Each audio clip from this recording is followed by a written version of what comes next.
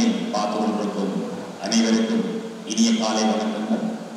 இன்றைய நாள் இனிமையான நாளாக இருக்க வேண்டி இறைவனின் திருப்பாதங்களை இறங்குகின்றோம். இன்றையமான முக்கிய நிகழ்வு அனைவருக்கும் கிருஷ்ண ஜெயந்தி தொடர்பாக கிருஷ்ண ஜெயந்தி வாழ்த்துக்களை தெரிவிப்பதோடு அனைத்து உயிர்களிலும் இறைவன் இருக்கின்றார்.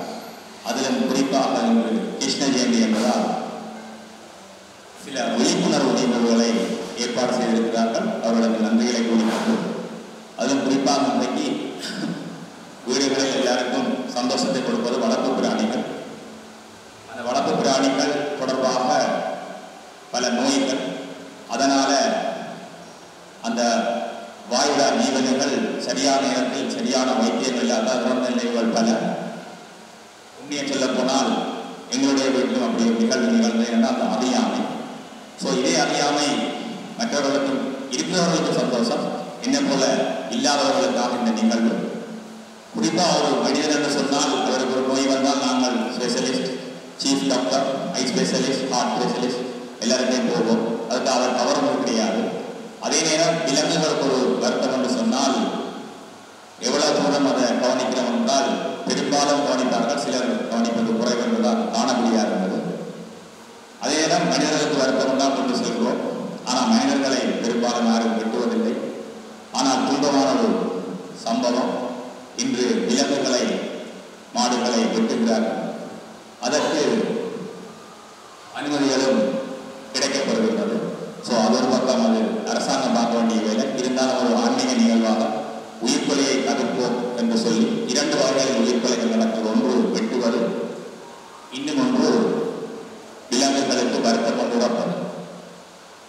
ஸோ அந்த வகையில் இன்றைக்கு விசேட விருந்தினராக டாக்டர் மாறன் அவர்கள் வந்திருக்கின்றார் இவர் அரசாங்க கால்நடை வைத்திய அதிகாரி இவர் என்று உங்களுக்கு இந்த வளர்ப்பு பிராணி ஆடு மாடு மற்றும் கோழிகளுக்கு என்ன நோய்கள் வரும் என்பதையும் அதன் அறிகுறிகள் என்ன என்பதையும் அதை முன்கூட்டி எவ்வாறு வைத்திய ரீதியாக பாதுகாக்கலாம் என்பதையும் கூறிக்கொள்ள விரும்புகிறார் கொலைகள் மாடு மாடுகளை வெட்டுவது தொடர்பது பற்றி இதை தொடர்ந்து ஒருவர் பேசுவார். இப்பொழுது அன்புக்கும் பெரும் மதிப்புக்கும் உரிய கால்நடை அரசாங்க வைத்திய அதிகாரி மாவடி வட்டுக்கோட்டை அவர்களை தனது கருத்தை கூறுமாறு மிகவும் பணிவன்புடன் அழைக்கின்றோம். மாறம் சார் ப்ளீஸ்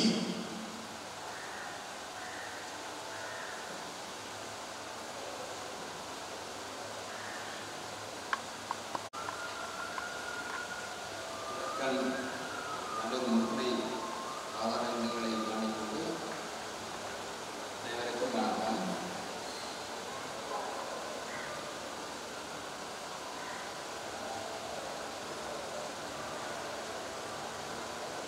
நான் டாக்டர் மாறன் பட்டுக்கோட்டை கால்நடை வைத்திய பிரிவைச் சேர்ந்த கால்நடை வைத்தியர் அந்த வகையில் இன்று நெல்- நெல்லை ஆதீனத்தில் நடைபெறும் இந்நிகழ்வில் என்னை அழைத்து கால்நடைகள் தொடர்பான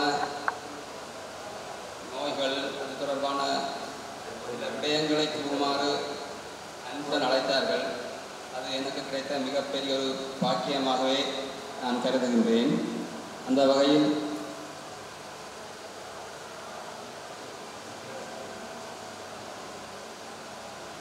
அந்த வகையில் நான் கால்நடை வளர்ப்பாளர்களுக்கும் அதை வளர்க்க இருப்பவர்களுக்கும் சில முக்கியமான விடயங்களையும் குறிப்புகளையும் கூறுவதை விட்டு பெருமை அடைகின்றேன். இந்த தற்போதைய சூழ்நிலையில் நாம் இலங்கையில் வசிக்கின்றோம். இந்த இக்கட்டான ஒரு காலகட்டம் பொருளாதார ரீதியாகவும் பல கஷ்டங்களையும் சவால்களையும் எதிர்கொள்ளும் மக்கள் கால்நடை வளர்ப்பிலே கால்நடை வளர்ப்பு மிக முக்கியமான ஒரு தொழிலாக காணப்படுகின்றது. இக்கால்நடை வளர்ப்பானது இன்று நேற்று அல்ல மிக பண்டைய காலம் தொட்டு கால்நடைகளும் நமக்கும் தொடர்பு மிக மிக நெருக்கமானது. கால்நடை என்னும் போது நாம் பலருக்கும் பல விதமான கருத்துக்கள் இருக்கின்றது. அந்த வகையிலே நாம் முதலில் கால்நடை என்னும் போது நினைப்பது பசு மாடு சம தொடர்பான பசு ஆடு கோழி அத்துடன் செல்லப்பிராணிகள் நாய் பூனை பிற பறவைகள் அப்படியான பல பலவும் இதில் உள்ளடங்குகின்றது அந்த வகையிலே கால்நடைகளை நாம் வளர்ப்பது என்பது ஒரு மிகப்பெரிய ஒரு நமது மனதுக்கும் உடல் ஆரோக்கியத்துக்கும் மிகப்பெரிய ஒரு ஒத்துழைப்பும் மிகப்பெரிய சந்தோஷத்தையும் கொடுக்கின்றது. அந்த வகையிலே இந்த பொருளாதார ரீதியில் பொருளாதார கஷ்டங்கள் உள்ள தற்போதைய சூழ்நிலையில் கால்நடை வளர்ப்பில் நாம் சில புதிய முறைகளையும் சரியான திட்டங்களையும் விட்டுவதனாலேயே வெற்றிகரமான கால்நடை வளர்ப்பை வளர்ப்பை நோக்கி செல்லக்கூடியதாக இருக்கின்றது. அல்லாது விட்டால் நாம் இந்த பொருளாதார கஷ்டத்திலே கால்நடை வளர்ப்பை கைவிட வேண்டிய நிலையும் ஏற்படலாம். ஆகவே நான் இங்கு கூறும் சில விடயங்கள் இங்கு உள்ளவர்களுக்கும் இதை ஆன்லைன் மூலம் பார்ப்பவர்களுக்கும் ஏதோ ஒரு வகை ஐந்தறிவு ஜீவன். நாம் ஆறறிவு படைத்த ஜீவன்கள். அப்போ அப்பொழுது நாம் தான் அதை கண்டுபிடிக்க வேண்டிய தேவை இருக்கிறது. அதை வளர்ப்பவர்கள் அதன் அருகில் இருப்பவர்களே கால்நடைகளுக்கு ஏதாவது வைத்திய நோய் உள்ளதா அல்லது நோய் இல்லையா என்ற கண்டுபிடிக்க வேண்டிய தேவை உள்ளது. அந்த வகையில் மனிதர்களே கால்நடைகளை மிகவும் கவனமாக வளர்க்க வேண்டிய தேவை தற்போதைய காலகட்டத்தில் உள்ளது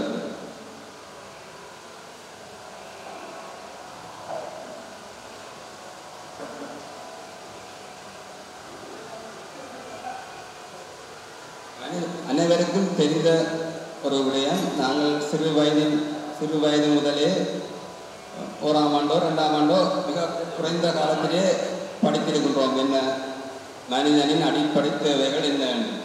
அந்த தேவைகள் அனைவருக்கும் தெரியும். அதிலே முக்கியமாக உணவு.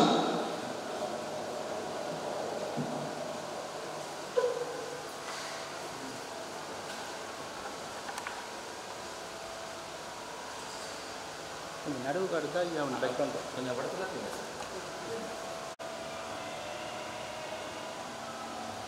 அனைவருக்கும் தெரிந்த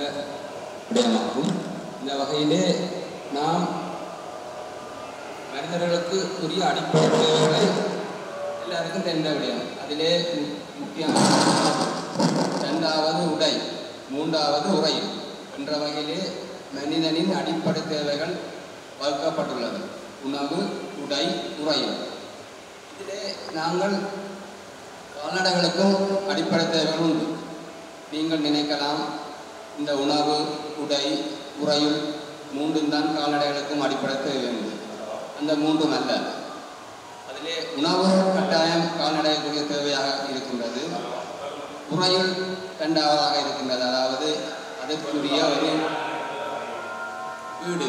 வீடு என்று சொல்லும்போது அது தங்குவதற்கான ஒரு கொட்டகை நாங்கள் அமைத்துக் கொடுக்க வேண்டும்.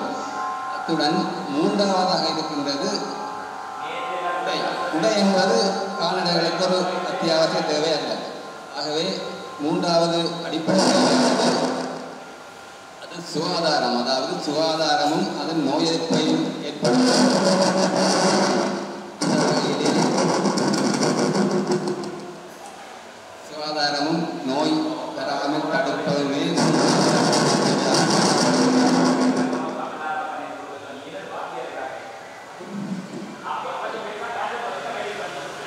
மூன்றாவது அடிப்படை தேவையாக சுகாதாரமும் நோய் வராமல் தடுத்தலும் ஆகவே கால்நடைகளுக்கும்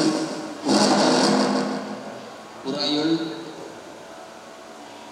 சுகாதாரம் நோய் வராமல் தடுத்தல் போன்றவை அடிப்படை தேவையாக காணப்படுகிறது. இந்த மூன்றையும் நாம் சரிவரச் செய்வோமானால் நமக்கு கால்நடை வளர்ப்பானது ஒரு இலகுவானதாகவும் வெற்றிகரமானதாகவும் அமையும். அதிலே நாம் நமக்கு விளைவிடுகின்றோமோ அப்பொழுதே நமக்கு கால்நடை வளர்ப்பானது ஒரு பிரச்சனையான ஒன்றாக மாறுகின்றது.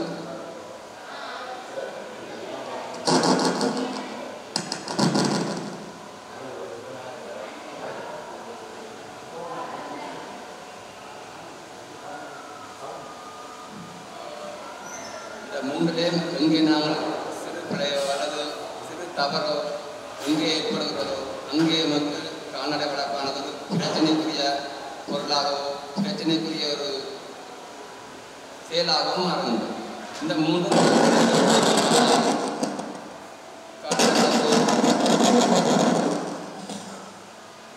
நமக்கு மிக லாபகரமான ஒன்றாக அமையும் எனவே நான் நீங்கள் நினைக்கலாம் நான் நோயை பற்றி கதைக்க வந்துட்டு வெவ்வேறு விடயங்களை கதைக்கின்றேன் என்று இப்போ கால்நடைகளுக்கும் மனிதருக்கும் அஹ், பல வித்தியாசங்கள் காணப்படுகின்றன மனிதருக்கு நோயை நோய் வந்தால் அதை குணப்படுத்தினால் காணும் அல்லது அந்த நோய்க்குரிய மருந்தை எடுத்துவிட்டால் அவர்களுடைய தேவை பூர்த்தியாகிவிடும் ஆனால் கால்நடைகளுக்கு எந்த ஒரு நோய் என்பது சாதாரணமாக ஏற்படாது அது ஏற்படுவதற்கு பல காரணிகள் காணப்படுகின்றன. அக்காரணிகளை நாம்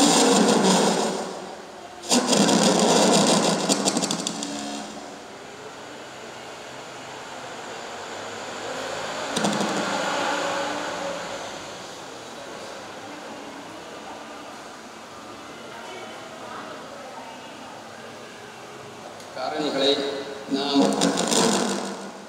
அகற்றாது விட்டால் அது கால்நடைகளுக்கான நோய்களுக்கு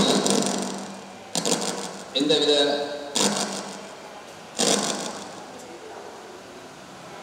கால்நடைகளுக்கான நோய்களுக்கு எந்த விதமான ம், மருந்து செய்தாலும் நமக்கு பலன் கிடைக்காது ஆகவே நாம் முதலில் கண்டுபிடிக்க வேண்டியது கால்நடைகளுக்கு எங்கிருந்து நோய் வந்தது என்பதை மனிதர்களுக்கு கண்டுபிடிப்பதிலும் பார்க்க கால்நடைகளுக்கே இவ்வாறான செயற்பாடுகள் மிக முக்கியமாக காணப்படுகின்றன.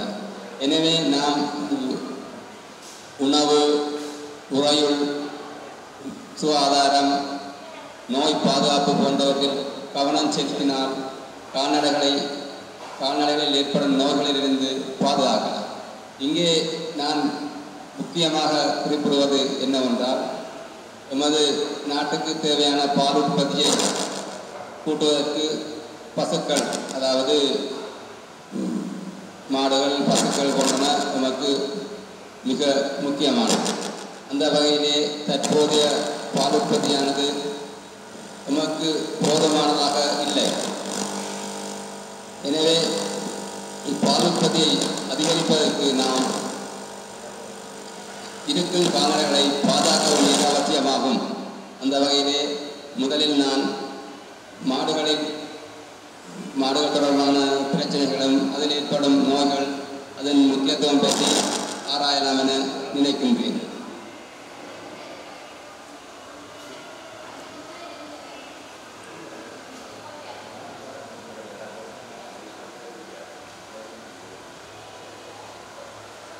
நாங்கள் முதல்ல பார்க்க வேண்டியது ஒரு மாட்டை நாங்கள் எவ்வாறு வளர்க்குறோம் என்று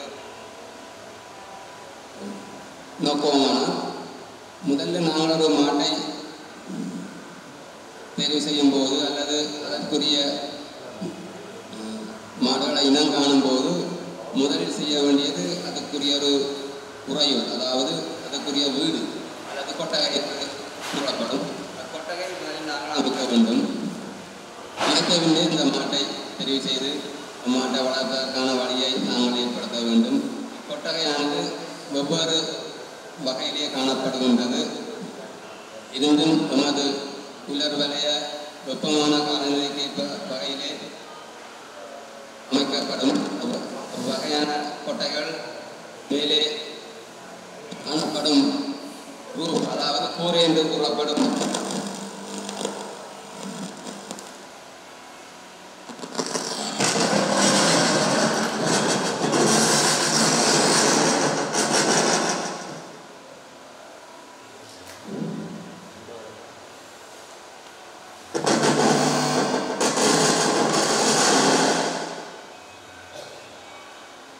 கூரை என்று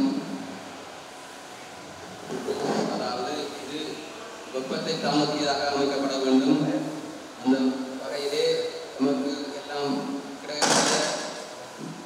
கூலிங் சீட் அல்லது கிடுகுகள் போன்றன இதற்கு பயன்படுத்தப்படலாம்.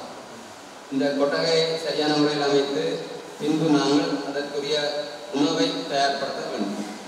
உணவு என்னும்போது நாம் கூறுவது நாம் சாப்பிடும் உணவல்ல நாம் காலமை அல்லது மதியம் இரவு போன்ற நேரங்களிலே ஒவ்வொரு வகையான உணவுகளை உண்போம். இதிலே முக்கியமாக மாப்பொருள் அதிகளவிலும் புரதம் கொழுப்பு போன்றன ஒவ்வொரு அளவிலே நமது உணவில் காணப்படுகின்றன. இங்கே கால்நடைகள் மாடுகளை பொறுத்தவரையில் நாம் இது ஒரு இல அதாவது எல்லாருக்கும் தெரிந்த வகையிலே இது ஒரு தாவர உண்ணி தாவர என்னும்போது இது தனியார் தாவரங்கள் மட்டுமே உண்ணக்கூடிய ஒரு விலங்காகும் அந்த வகையிலே நாம் தொண்ணூறு விதமான அதாவது இதன் உணவில் தொண்ணூறு விதமான பகுதி பொருட்களையே நாம் வழங்கவில்லை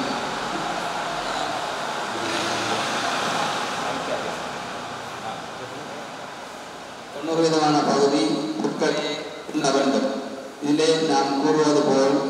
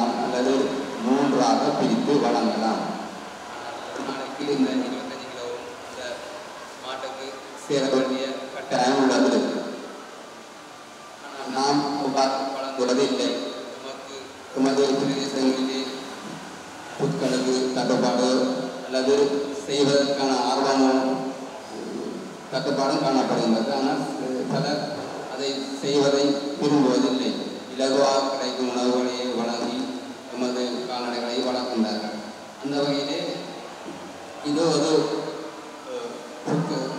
முதலாவது நான் விடும் தவறு என்ன தவறு என்றால் நமக்கு இவ்வகையான உணவுகளை வாங்கும்போது அதிக விலை கொடுத்து வாங்க வேண்டிய தேவை உள்ளது இவ்விலை கொடுத்து வாங்கும்போது நாம் நமது உற்பத்திக்கு அதிக அளவான செலவை செய்கின்றோம். ஒரு பால் ஒரு லிட்டர் பாலுக்குரிய செலவு அதிக அளவாக வருகின்றது. ஆகவே இதை நாங்கள் குறைந்தளவு செலவில் செய்ய செய்வோமானால் நமக்கு லாபமும் மிகவும் இலகுவான முறையிலும் அதிக அளவு செலவு செய்யும் போது நமக்கு கிடைக்கும் சில விலையில் கிடைக்கும் நட்டமானது நம்மை மிகவும் பாதிக்கும். ஆகவே நாம் இதில் கூறுவது என்னவென்றால் நமக்கு இயற்கையாக கிடைக்கும் உணவுகளை நாம் பெரிதும் விலங்குகளுக்கு வழங்குவதை வழங்குவது நல்லது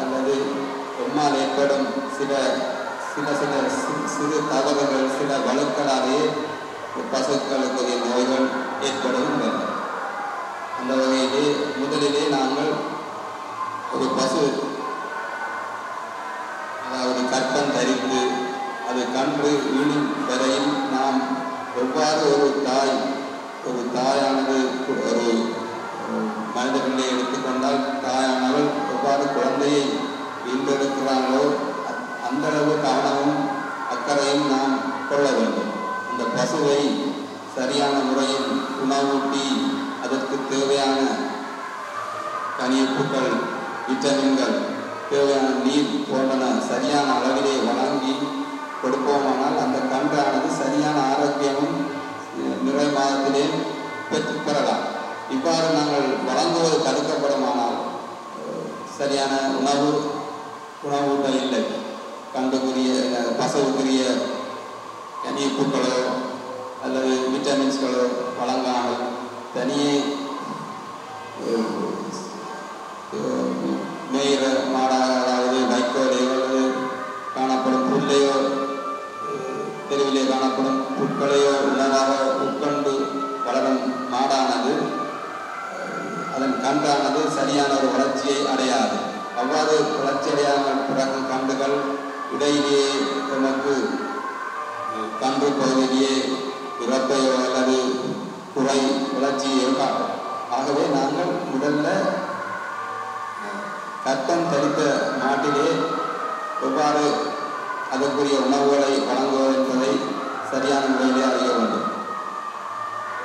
கற்பம் என்னும்போது அது தனக்கு தேவையான உணவையும் தனது வயிற்றிலே வளரும் கன்றுக்கு தேவையான சக்தியையும் வழங்க வேண்டும். ஆகவே நாங்கள் ரெண்டு மடங்கு உணவுகளை முதல் ஆறு மாதம் வரையும் வழங்க வேண்டிய கட்டாயம் இருக்கும் இப்- மாதத்திலே கல்சியம் அதாவது கல்சியம் அஹ், கன்று வளர்ச்சி கன்று எந்தோ வளர்ச்சி கன்றின் வளர்ச்சிக்கு அத்தியாவசியமான கல்சியத்தை கிட்டத்தட்ட எழுபது கிராம் அதாவது எண்பது எழுபது கிராம் போது ஒரு நாலு விசக்கரண்டி இருந்தாக்க கொஞ்சம் கூட நாங்கள் கட்டாயம் வைக்கும் ஒவ்வொரு நாளும் வைக்கும். அப்போ இந்த வைக்க இப்ப வைப்பதனாலே பண்பானது நிறை வளர்ச்சி அடையும். அத்தோடு அது மாடானது கன்று புற புறக்கு புறக்கும் போது பல மாடுகள் கன்றை இலகுவாக ஈன்று கொடுக்காது. கஷ்டப்பட்டு மிகவும் கடுமையான கஷ்டப்பட்டு தான் கன்றை ஈழும் அல்லது கன்று உண்பதற்கு கட்- ஈனாது அது கஷ்டப்படுவதற்கும் வேறு ஒருவருடைய உதவியோ காணல வைத்திய உதவியோ தேவைப்படலாம் ஆகவே நாங்கள் இலகுவாக கன்றை என்பதற்கு இவ்வாறான கல்சியங்கள் கட்டாயம் வழங்கப்பட வேண்டும். இவ்வாறு வழங்கி வழங்கப்பட்டு காணப்படும் மாடானது சரியான காலத்திலேயே காலத்திலே கன்றை அவ்வாறு எண்ணுவது எமக்கு இலகுவானது. அல்லது நாம் குறை மாதத்திலோ அல்லது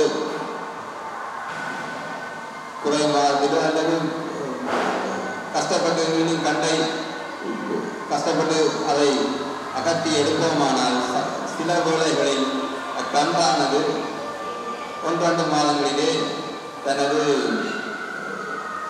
இறப்பையோ அல்லது ஏற்படலாம் இறப்பு ஏற்படலாம் ஆகவே கன்று பிறந்த உணவு நாங்கள் மாட்டை கவனிப்பதை விட கன்று ஈனமுன்னமே நாங்கள் மாட்டுக்கான சரியான ஒரு கவனிப்பை ஏற்படுத்த வேண்டும்.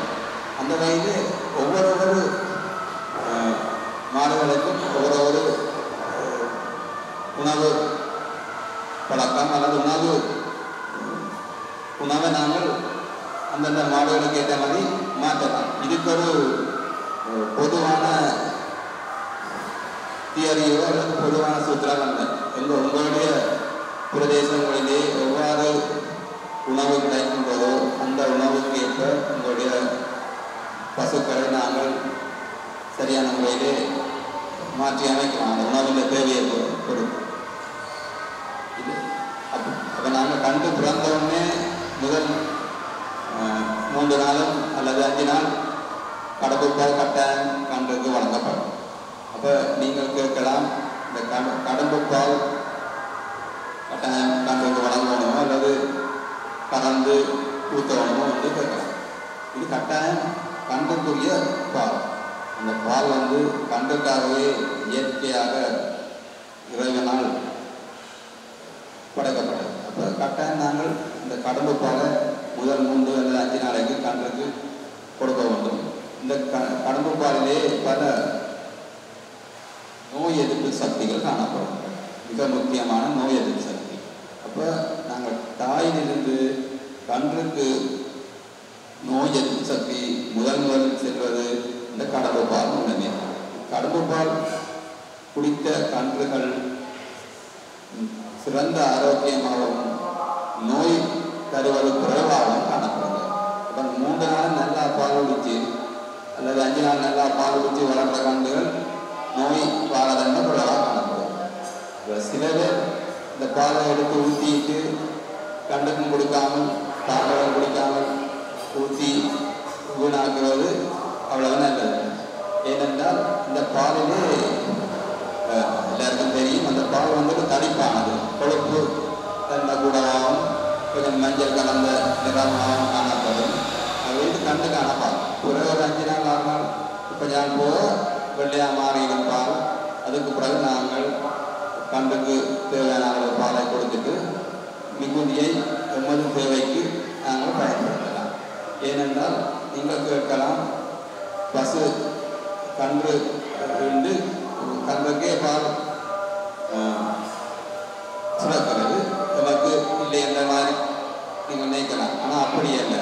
அது கன்றுக்கு தேவையான அளவு ஒரு குறிப்பிட்ட அளவுதான் அதுக்கு மேலதிகமாக எமது மனிதரின் தேவைக்கு நாங்கள் அதை பயன்படுத்தலாம். அதில் ஒரு தவறும் இல்லை.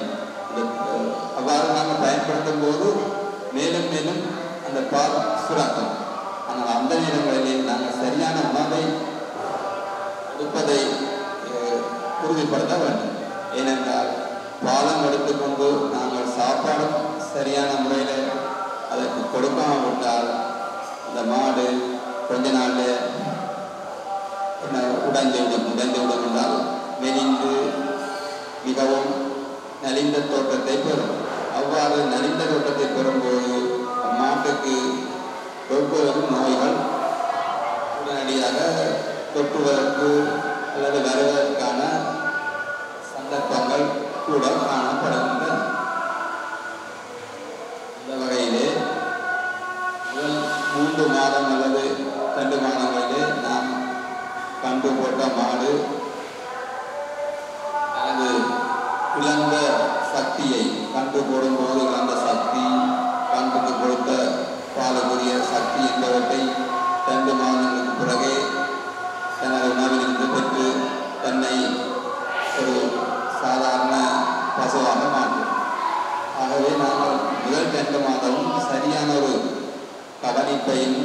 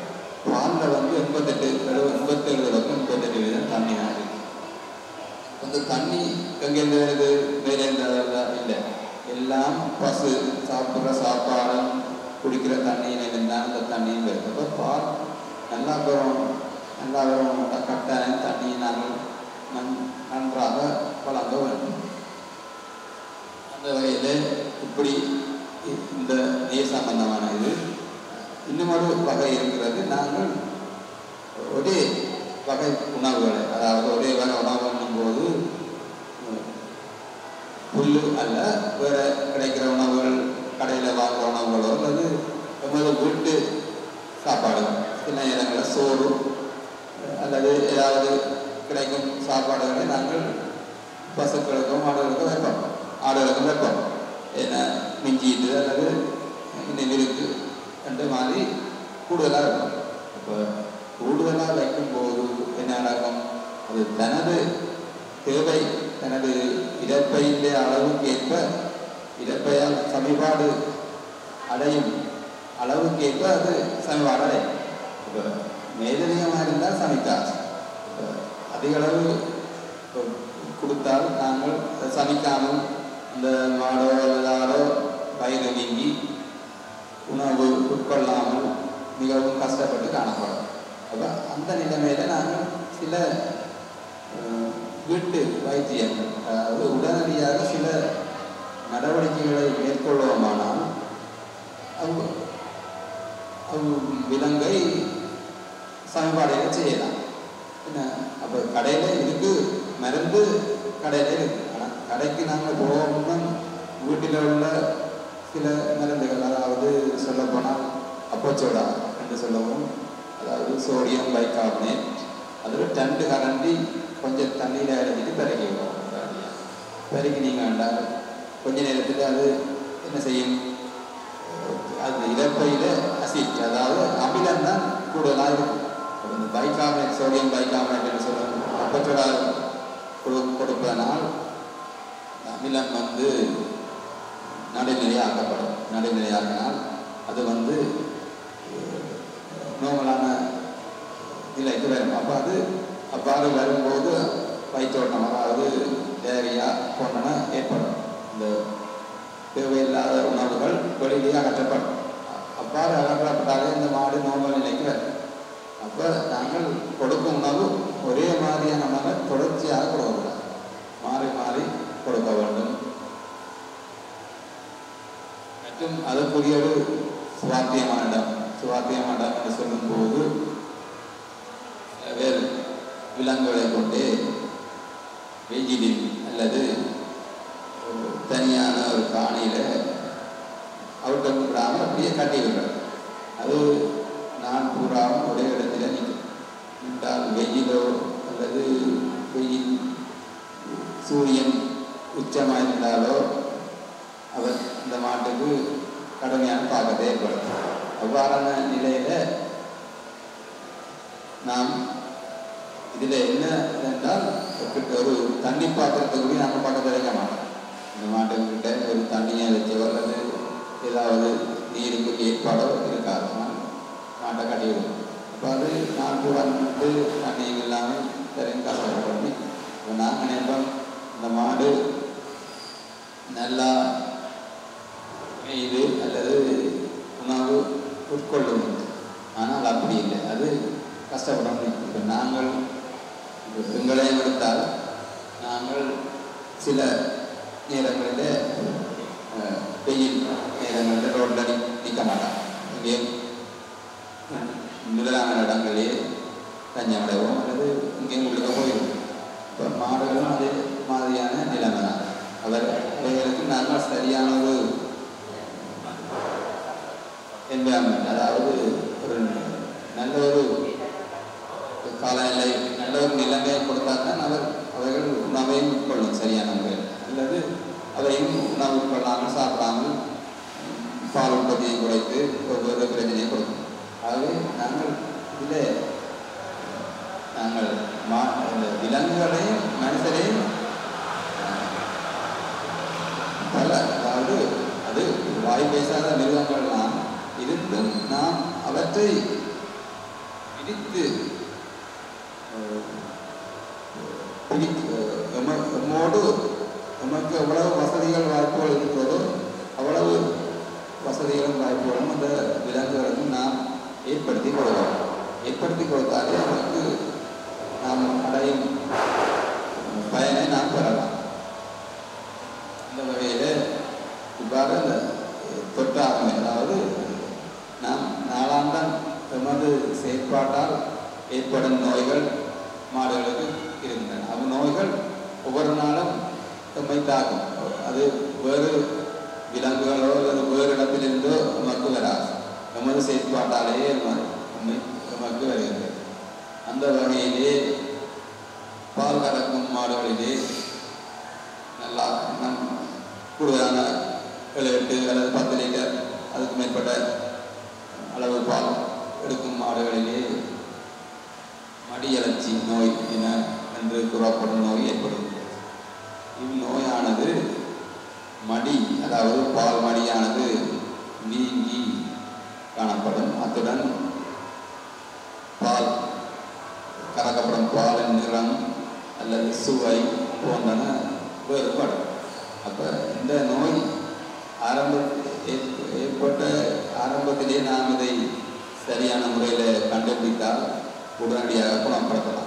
அல்லது இது கண்டுபிடிக்காமல் கொஞ்சம் காலங்கள் நீ- நீ- நீண்டு கொண்டு போனால் இது நோய் அதாவது எல்லா மடிக்கும் இந்த நோய் பரவியும் பரவினால் பிறகு இதை நாம் இதுக்குரிய மருந்தையோ இதுக்குரிய தீர்வையோ கொடுப்பது மிகவும் கடினம். ஏனென்றால் பால் என்பது ஒரு சத்து அதாவது இது ஒரு நியூட்ரிட்டி ஃபுட் என்று சொல்லப்படும் அதாவது அஹ், நிறவுணவு இதிலே எல்லா வகையான சத்துக்களும் காணப்படும்.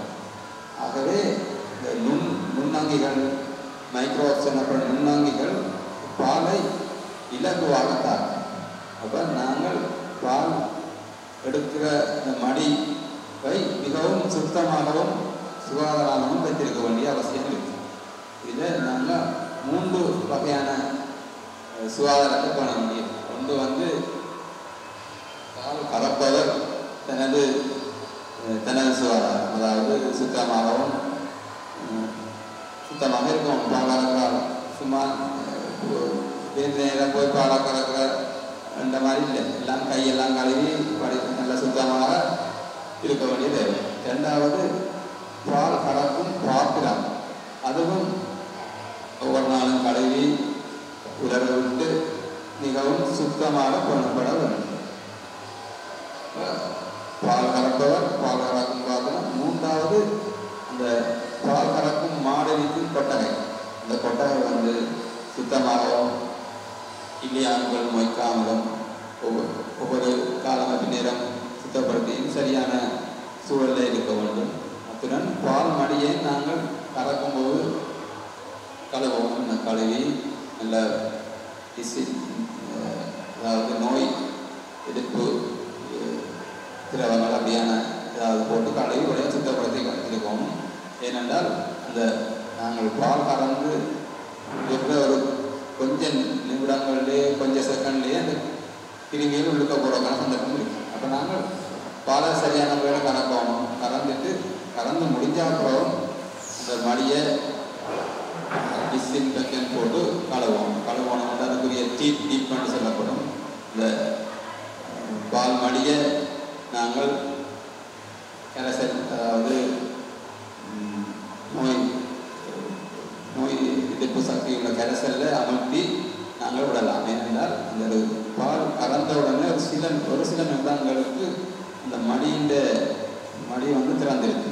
இப்போ அந்த நேரங்களில் கிருமியில் போடுறதுக்கான சந்தர்ப்பம் அதிகமாக இருந்துச்சு. அப்போ நாங்கள் அந்த அதுக்கு முன்னே அதை அதை கழுவி விட்டீங்கன்னா அதுக்கு கிருமியே போக மாட்டோம். போகிறதுக்கான சந்தர்ப்பம் இல்லை.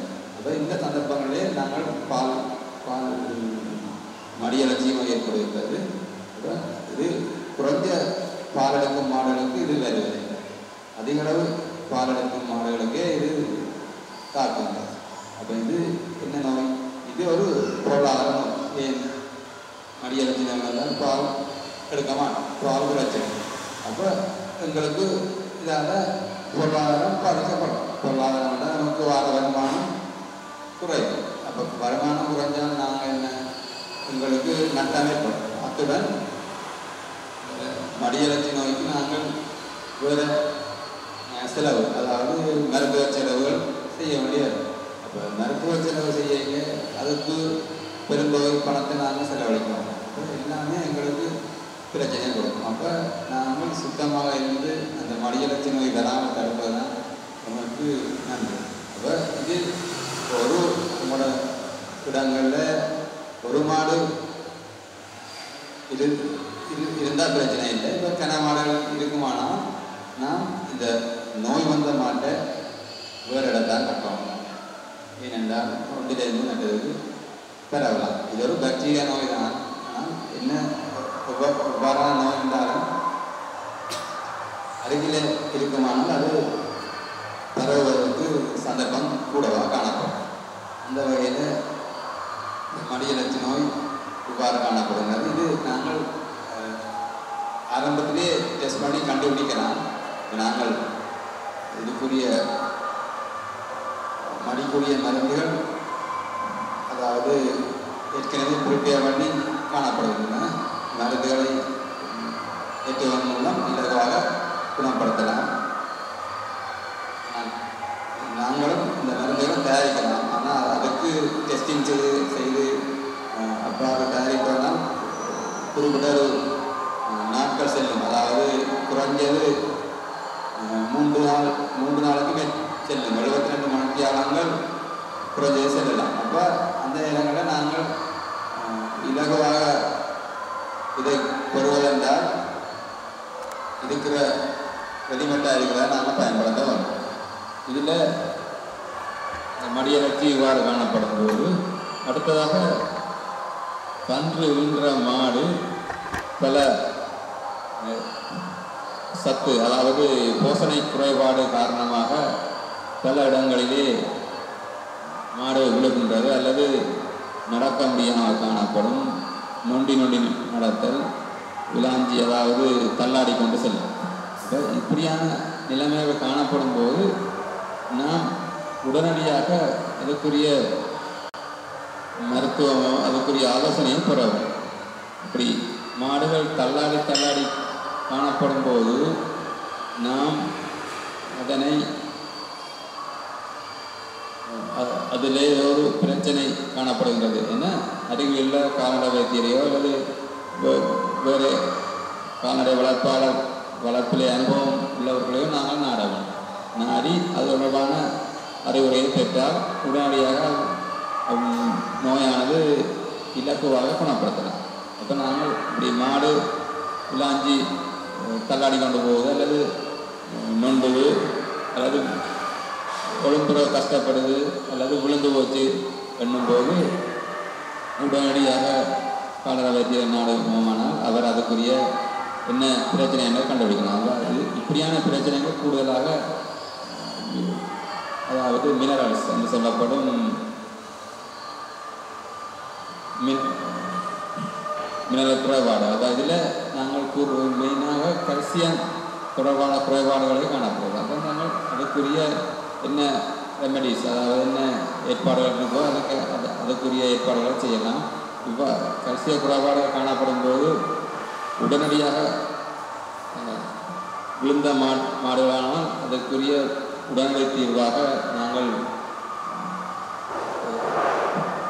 கல்சியம் இது வெவ்வேறு வகையான ப்ரிப்பரேஷன்ஸ் அதாவது வெவ்வேறு வகையில் காணப்படுகிறது. அது அவ்வாறான ப்ரிப்பரேஷன்ஸ் நாம் உடனடியாக மாட்டுக்கு வழங்குவதன் மூலம் மாட்டை தனது செயற்பாடுகளை தனது இயல்பான செயற்பாடுகளுக்கு கொண்டு செல்லலாம். அப்போ இதில் என்ன என்றால் நாங்கள் மாடுகள் இவ்வாறு நோய் வந்து பல நாட்கள் காணப்படுமானால் அது அஹ், பிறகு குணப்படுத்துவது என்பது மிக கஷ்டமாக இருக்கும். ஏனென்றால் அது நாள் போக போக மாடுகளில் அதன் நரம்புகள் செயலிழக்க தொடங்கிடும் அப்போ நாங்கள் ஒரு மற்றதும் ஒரே இடத்தை படுத்து கொண்டிருக்க அதுக்கு பெட் சோர் என்று கூட படுக்கை புண் அதாவது படுக்கை காயம் என்று சொல்கிற அப்படியான காயங்கள் எல்லாம் வர பார்க்கும். அப்போ எவ்வளோ மற்றது டியூரில் போன்றன போயிருக்க ஈரமாகி அந்த இடங்களில் இலையான் வைத்து வெவ்வேறு வகையான புழுக்கள் வேண்டன வேற பார்க்கலாம் ஆகவே நாங்கள் எவ்வளவுக்களவு உடனடியான மருத்துவத்தை செய்கிறோமோ அவ்வளவுக்களவு உங்களுக்கு நன்மை கிடைக்கும்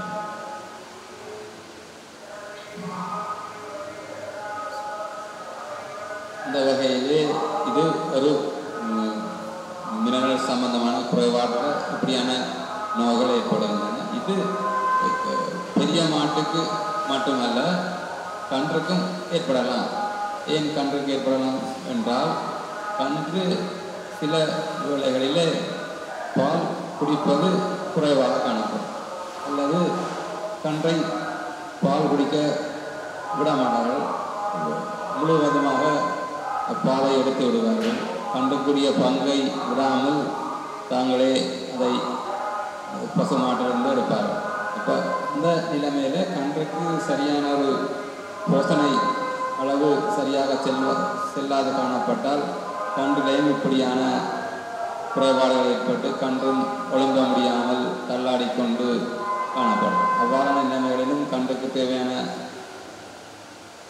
என்னென்ன போசனை பிரச்சனை இருக்கிறதோ அவ்வாறான கல்சிய பிரச்சனைகளுக்கான தீர்வுகளையும் அதுக்குரிய மருந்துகளையும் உடனடியாக வழங்குவதன் மூலம் நாம் கன்றை ஆரோக்கியமானதாக மாற்ற முடியும். இதில் நாங்கள் அநேகமான அநேகமான பண்ணையாளர்கள் மாடு வளர்ப்பாளர்களுக்கு இவ்வாறான விடயங்கள் தெரிந்தாலும் அவர்கள் இந்த கொடுக்குற அளவு வந்து ஒரு சரியான அளவாக காணப்படவில்லை. ஏனென்றால் அவர்கள் இந்த மாட்டுக்கு தேவையான அளவிலும் குறைந்த அளவே அவர்கள் வழங்குகிறார்கள். அப்போ இந்த குறைஞ்ச அளவு வழங்கிய அது கொஞ்ச காலம் செவ்வாய் செவை என்ன கொஞ்ச காலத்துக்கு அது அதை ஏற்றுக்கொண்டு இருக்கும் ஆனால் அதுக்கு இயலாத தனக்கு இயலாத காலம் இயலாத காலம் வரைக்கும் அது பிறகு திரும்ப அப்போ நாங்கள் சரியான அளவையும் கணிப்பையும் சரியாக எடுத்துக்கொண்டு அது ஒவ்வொரு மாட்டுக்கும் வித்தியாசப்படும். இதுக்கு ஒரு தியரி என்று இல்லை. நாங்கள் கொடுக்குற உணவு உணவுக்கு ஏற்ப இந்த கல்சியத்தின் அளவும் இந்த மினரல்ஸின் அளவும் நாங்கள் மாறுபடும். அப்போ நம்ம கொடுக்குற சாப்பாடு தான் முக்கியமானது. அதுதான் மிக முக்கியம்.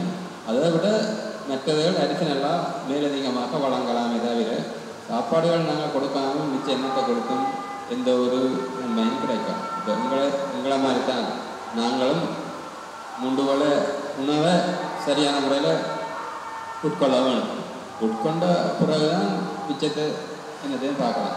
இப்போ சாப்பாடு நாங்கள் சாப்பிடாம வேறு இதுகளுக்கு போயிடலாம்.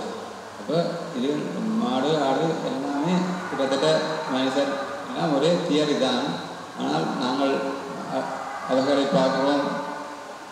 நாங்கள் ஆறறிய வேண்டும் அவர்கள் ஐந்தறிய வேண்டும். அவர்களுக்கு ஒரு குறிப்பிட்ட அளவுக்கு மேலே நாங்கள் கரிசனையோ இரக்கமோ காட்டுவது குறைவு. சி- எல்லாரும் எல்லாரும் வந்து இல்லை. அப்படி பொதுவான ஒரு இது இருக்கு. மனிதருக்கு நாங்கள் எவ்வளவும் செய்யலாம். ஆடு மாடு அல்லது நாய் என்றால் ஒரு நாய் தானே அல்லது மாடு தானே என்ற ஒரு எண்ணம் எங்களிடம் பல இடம் இருக்கின்றது. அப்போ அந்த எண்ணங்கள் நாங்கள் விட்டு என்றால் தான் இந்த மாடுகள் ஆடுகளை நாங்கள் சரியான முறையில் வளர்க்கலாம். ஏனென்றால் தற்போதைய சூழ்நிலையில் இருக்கிற ஆடு மாடுகள் போன்ற கோழிகளையும் நாங்கள் பாதுகாக்க வேண்டியது ஏனென்றால் பொருளாதார சிக்கல். அப்போ இருக்கிறதாவது நாங்கள் பாதுகாத்து சரியான முறையில் மேலும் பெருக்கி அதன் பெருக்கி அதன் மூலம் பயன்களை பெறுவோமானால் இந்த பொருளாதார சுமையும் ஓரளவு குறையக்கூடிய சந்தர்ப்பங்கள் இருக்கின்றன நாங்கள் எவ்வளவுக்கு எவ்வளவு எங்களோட உற்பத்தியை கூட்டுறோமோ அவ்வளவுக்கு எங்களுக்கு நன்மைகள் பிறக்கும். அந்த வகையில் மாடுகள் சம்பந்தமான மிக முக்கியமான ஒன்று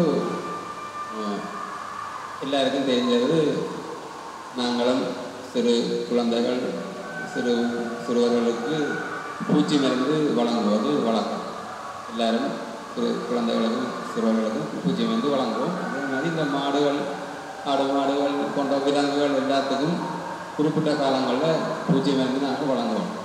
அப்போ இது கட்டாயம் செய்ய வேண்டிய ஒரு விடயம் இது நாங்கள் இப்போ திறந்து விட்டு வளர் வளர்க்குற மாடு என்றால் அதை பற்றி நாங்கள் பெரிய கவனிக்க தேவையில்லை. அது தானாக போய் தானாக ரெண்டு அதை கட்டுறதே இல்லை. அப்போ அப்படியான நிலைமை இங்கே குறைவு. இருந்தும் அப்படியான நிலைமையில் நாங்கள் ஒன்றும் கவனிக்க தேவையில்லை நாங்கள் கட்டி வச்சு வளர்க்குறோம்னா கட்டாயம் பூஜ்ஜியம் மருந்து கொடுக்கணும் அப்போ இந்த பூஜ்ஜியம் இருந்தானது பிறந்த கண்டில் இருந்து வழங்கப்பட வேண்டும். பிறந்த கண்டென்றால் முதலாவது பூஜ்ஜியம் இருந்து முதலாம் மாதம் வயதடைய அதாவது இந்த கன்றானது ஒரு மாத வயதை அடையும் போது வழங்க வேண்டும். நாங்கள் பிறந்து கண்டு ஒரு மாதம் அடையக்க முதலாவது பூச்சி மருந்து இந்த பூச்சி மருந்து அளவு வந்து அதிൻ്റെ நிறைக்கு ஏற்ற மாதிரி வழங்கப்படலாம். அது அந்த பூச்சி அந்த கலன வைத்தியரையோ அல்லது அந்த பிராண்ட் அதாவது அந்த பூச்சி மருந்து பிராண்டிலேயோ அது காணப்படும். அது பிரச்சனை இல்லை. அப்போ நாங்கள் கொடுக்கணும்னு தெரிஞ்சிருந்தால் சரி அந்த பூச்சி மருந்து சரியான அளவை நாங்கள் கொடுக்கலாம். அதாவது ரெண்டாவது நிலைமை மூன்று மாதம் வயதை அடையும் போது நாங்கள் வழங்குவோம். அதாவது கன்றுக்கு மூன்று மாதம். இப்போ முதலாவது ஓராம் முதலாம் மாதம் ரெண்டாவது மூன்றாம் மாதம் மூன்றாவது ஆறு மாதம். அப்போ தொடர்ச்சியாக நாங்கள் மூன்று தரம் கட்டாயம் வழங்குவோம். இப்போ முதலாம் மாதம் மூன்றாம் மாதம் ஆறாம் மாதம். இப்போ இந்த மூன்று தொடர்ச்சியான மூன்று தரம் வழங்குவீங்க இப்போ இது வழங்கின பிறகு பிறகு ஒவ்வொரு ஆறு மாதத்துக்கு ஒரு தடவை இந்த கண்டுகளுக்கு வ- கண்டு வளர்ந்தா பிறகு சரி கண்டாக இருந்தாலும் சரி ஆறு மாதத்துக்கு ஒரு தடவை நாங்கள் பூச்சி மருந்து வழங்க வேண்டிய கட்டாயம் இருக்குது அப்போ முதல்ல நாங்கள் முதலாம் மாதம் கொடுப்போம் மூன்றாம் மாதம் கொடுப்போம் பிறகு ஆறாம் மாதம் கொடுப்போம். பிறகு ஒவ்வொரு ஆறு மாதத்துக்கு ஒரு தடவை நாங்கள் இந்த பூச்சி மருந்தை வழங்க வேண்டும்.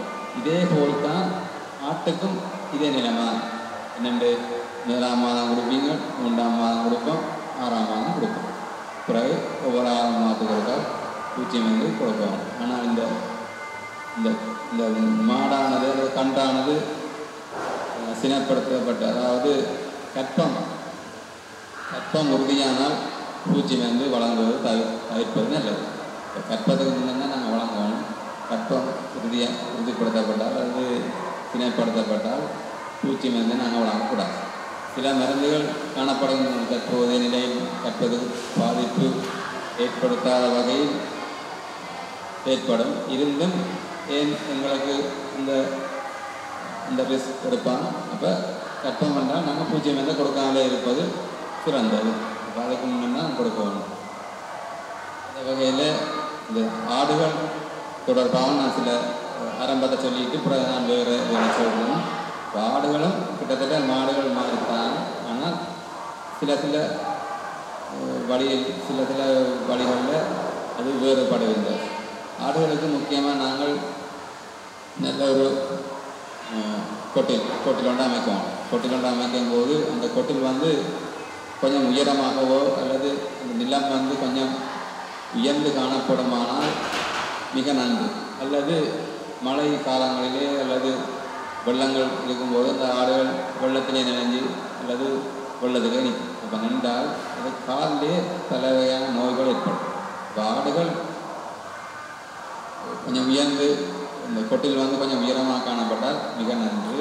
அந்த வகையில் ஆடுகளில் நாங்கள் பிறந்த உடனேயே நாங்கள் அதற்குரிய சில ஏற்பாடுகள் அதாவது சில ப்ரிகாஷன்ஸ் செய்ய வேண்டிய தேவை பிறந்து ஆட்டுக்குட்டி பிறந்து இருபத்தி நாலு மணி நேரத்துக்குள்ளேயே டெட்டனஸ் டாக்சைட் அதாவது ஏற்பு வலிக்குரிய தடுப்பூசி வேக்சின் போடப்படும் இது ஏன் போடுறது என்றால் இதெல்லாம் இந்த பகுதியில் டெட்டனஸ் அதாவது ஏற்பு வலி ஏற்படுவதற்கான சந்தர்ப்பம் கூட காணப்படுகிறது அப்போ நாங்கள் இருபத்தி நாலு மணி நேரம் அதாவது ஒரு நாளைக்குள்ளேயே இந்த ஆட்டுக்குட்டிகளுக்கு இந்த டெட்டனஸ் டாக்சைட்டை நாங்கள் போட்டுருவோம் அப்போ அது என்ன இருந்தால் இப்போ ஆட்டு குட்டி பிறந்த உடனே கொண்டு போய் போடுறதில்ல அந்த குட்டி வந்து தாய்ப்பாலை குடித்து ஒளிம்பி நின்று ஒரு நாலு மணத்தியான மண்டாரம் போய் கொஞ்சம் ஒளிம்பி நின்று தாய்ப்பாலை குடித்து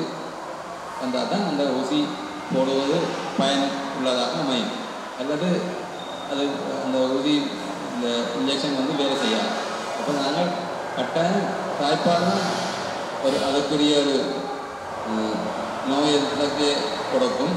அத்தோட இது ஒரு பக்கபலமாக அமையும். இப்போ தாய்ப்பால் குடிக்காமல் எந்த ஒரு உயிரினமும் எனது நோய் எதிர்ப்பு சக்தியை பெற பெறாது. அது தாய்ப்பாலே முக்கியமானது. அந்த வகையில் இதில் சில நேரங்களில் நாங்கள் கற்பன் தரித்த ஆட்டுக்கு மூன்றரை மாதத்தில் டொக்சைட் இன்ஜெக்ஷனை போடுவோம் மூன்றரை மாதம் கற்பம் உள்ள ஆட்டுக்கு போடுவோம் அப்போ அந்த நேரங்களில் சில நேரம் அந்த கற்பம் எங்களுக்கு கண்டுபிடிக்கலாம் போகலாம் அல்லது அதுக்குரிய தியதிகள் எங்களுக்கு ஞாபகம் இல்லை அப்படியான எல்லாமே இருக்குது அப்போ அந்த அப்படியான சூழ்நிலையில் நாங்கள் பிறந்த உடனே குட்டிகளை போடுவோம் அல்லது தாய்க்கு போடுவோம் தாய்க்கு மூன்றரை மாதத்தை போட்டு குட்டிகளுக்கும் போடாமல் விடலாம் அல்லது போட்டோம் என்றால் எங்களுக்கு மிக நல்லது. ஏனென்றால் தாயிலிருந்து இந்த குட்டிகளுக்கு எதிர்ப்பு சக்தி வருகிறது. டெட்டனஸுக்கு எதிராக குட்டிகளுக்கும் போடுறதால அது ஒரு மிக கூடுதலான எதிர்ப்பு சக்தியை ஏற்படுத்தும். அப்போ நாங்கள் ரெண்டு ரெண்டிலையும் போடுறது மிகவும் வரவேற்கத்தக்கது.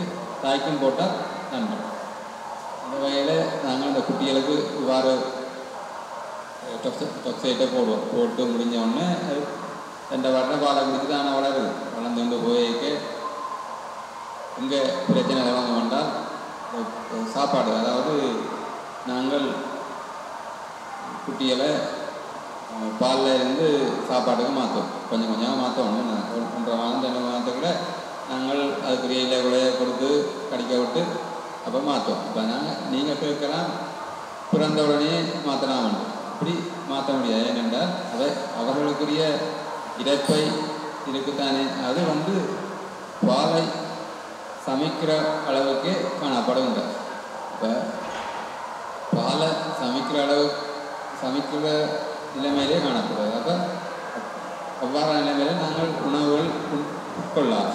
ஆகவே ஒரு ரெண்டு மாதம் வெயிட் பண்ணித்தான் நாங்கள் இந்த குட்டிகளுக்கு வேறு உணவுகளை பழக்கலாம் கொஞ்சம் கொஞ்சமாக பழக்கி அதன் இழப்பை சரியாக கொஞ்சம் கொஞ்சமாக பாதம் வெவ்வேறு இலக்குலைகளையும் பழக்கி நாங்கள் அக்குட்டிகளை நிற நல்ல நிலைக்கு கொண்டு வரணும் அப்போ இந்த குட்டிகளுக்கு நான் சொன்ன மாதிரி ஓராம் மாதம் மூன்றாம் மாதம் ஆறாம் மாதம் பூச்சி மருந்து நீ வழங்கலாம். பிறகு குட்டிகள் வளர்ந்து குட்டி மறைக்குட்டி என்ற இதில் வரும்.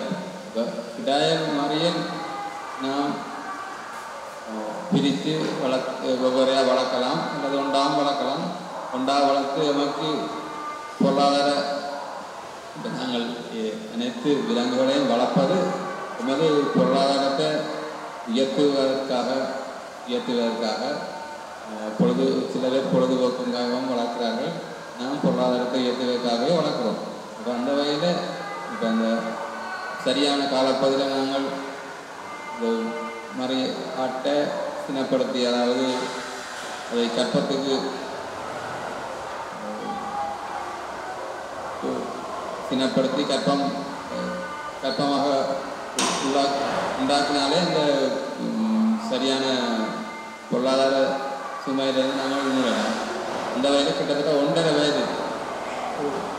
ஒன்றரை ஒரு ஒன்றரை வயது நிரம்பும் போது இந்த ஆடு எனது முதலாவது தேடலை ஆரம்பிக்கும். அதாவது ஆணாட்டை தேடும் இந்த ஆணாட்டை தேடும்போது நான் என்ன செய்வோம்?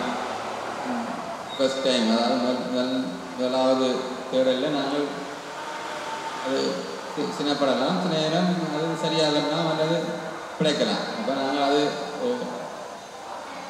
மருத்துவம் தேவையாக நாங்கள் அதுக்குரிய ஏற்பாடுகளை செய்தோம்னா அதுக்குரிய இப்போ பிறகு என்ன நடக்கும்? பிறகு நாங்கள் சொன்ன மாதிரி ஏற்கனவே பசுக்கு சொன்ன மாதிரி தான் கற்பம் சரித்த உடனே நாங்கள் ஒரு கற்ப கற்பத்தில் எவ்வாறு பசுமாட்டை நாங்கள் கவனித்தோமோ அதே மாதிரி இந்த ஆட்டையும் சரியான முறையில் கவனிக்கணும்.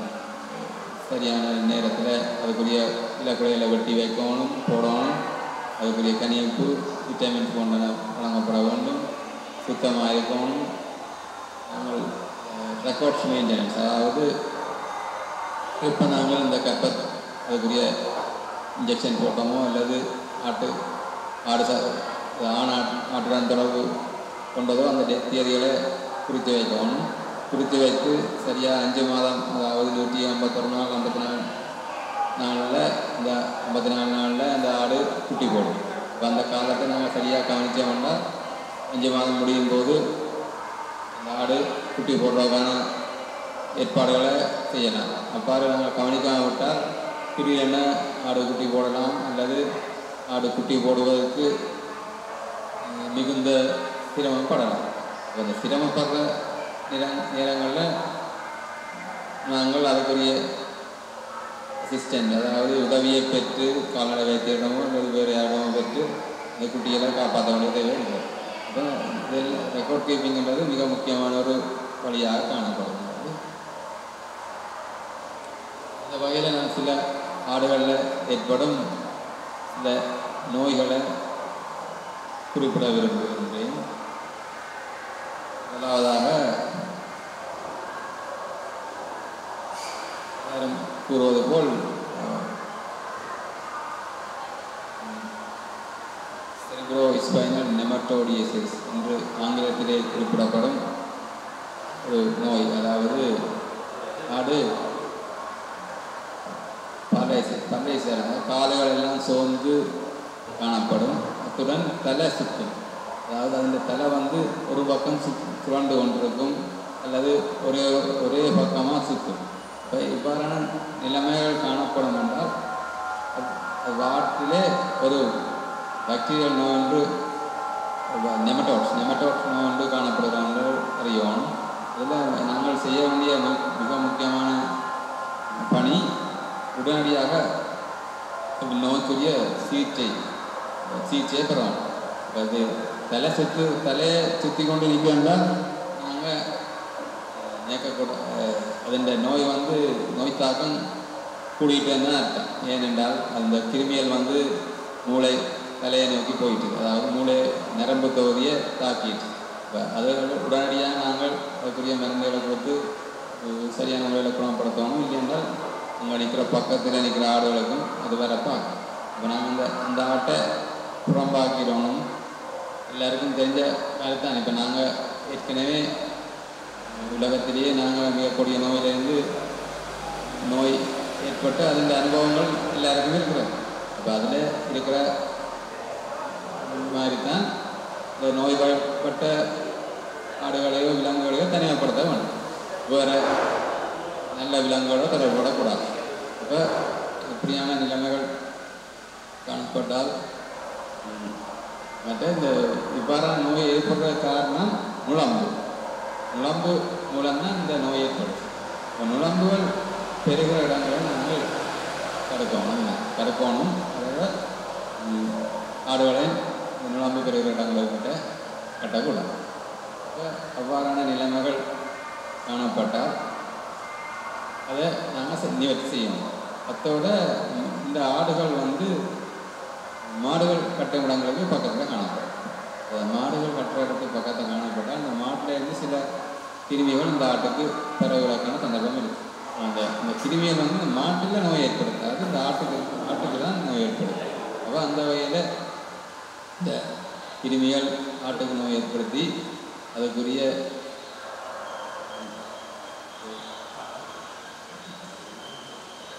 நோய் நோய் நோய் காரணமாக அந்த ஆட்டில் உற்பத்தி இழப்பு அதாவது அது செயற்பாடு அதில் குட்டி போடுற தன்மையை குறைக்கும் பால் உற்பத்தியை குறைக்கும் போன்றன ஏற்படுது அப்போ இந்த விலங்குகள் இந்த நோயிலிருந்து நாங்கள் இலகுவாக ஆட்டை மீட்டெடுக்கலாம் அத்தோடு ஆடுகள் ஏற்படும்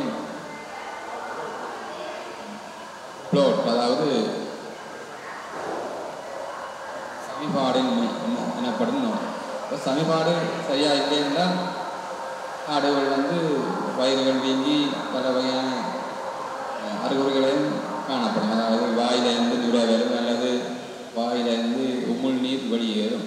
அவ்வாறு காணப்படும் ஆடுகளுக்கு உடனடியாக நாங்கள் கூறுவது ஏற்கனவே கூறப்பட்டது போல் சொன்னது போல் பசுவுக்கு வழங்கப்பட்டது போல் அப்பச்சூடா ஒரு கரண்டி. ஆட்டுக்கு வேண்டால் பசுவுக்கு ரெண்டு கரண்டி வழங்கின மாதிரி ஆட்டுக்கு ஒரு கரண்டி. கொஞ்சம் தண்ணியில் இறக்கி வழங்கினோம் என்றால் அது உடனடியாக குணப்படுத்தலாம்.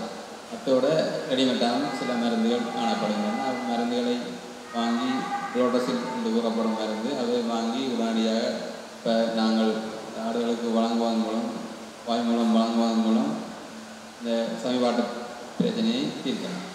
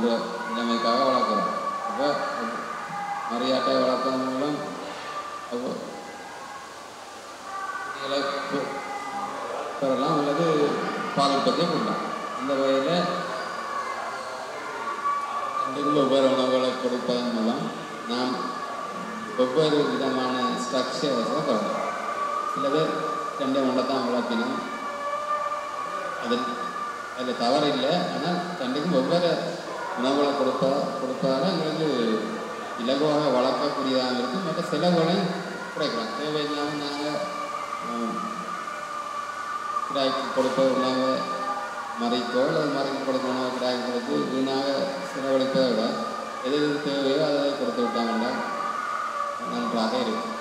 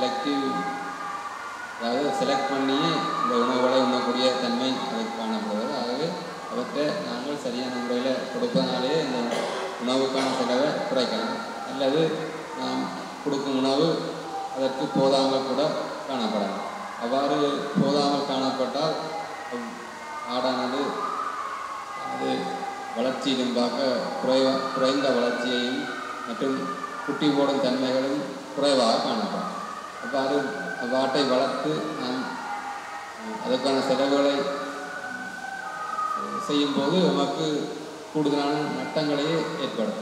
அப்போ நாங்கள் சரியான உணவுகளையும் சரியான அளவில் வழங்குவதாலேயே நாம் நமக்கான லாபத்தையோ அல்லது நமக்கான உற்பத்தியையோ அதிகம் பெறக்கூடிய அப்போ நாங்கள் இப்போ இந்த பொதுவான ஒரு பராமரிப்பு முறை சம்பந்தமான ஆடு மாடுகளை பார்த்தோம். இப்போ இதில் சில தொற்றா நோய்கள் அதாவது சாதாரணமாக ஏற்படுற நோய்களையும் பற்றி பார்க்கலாம்.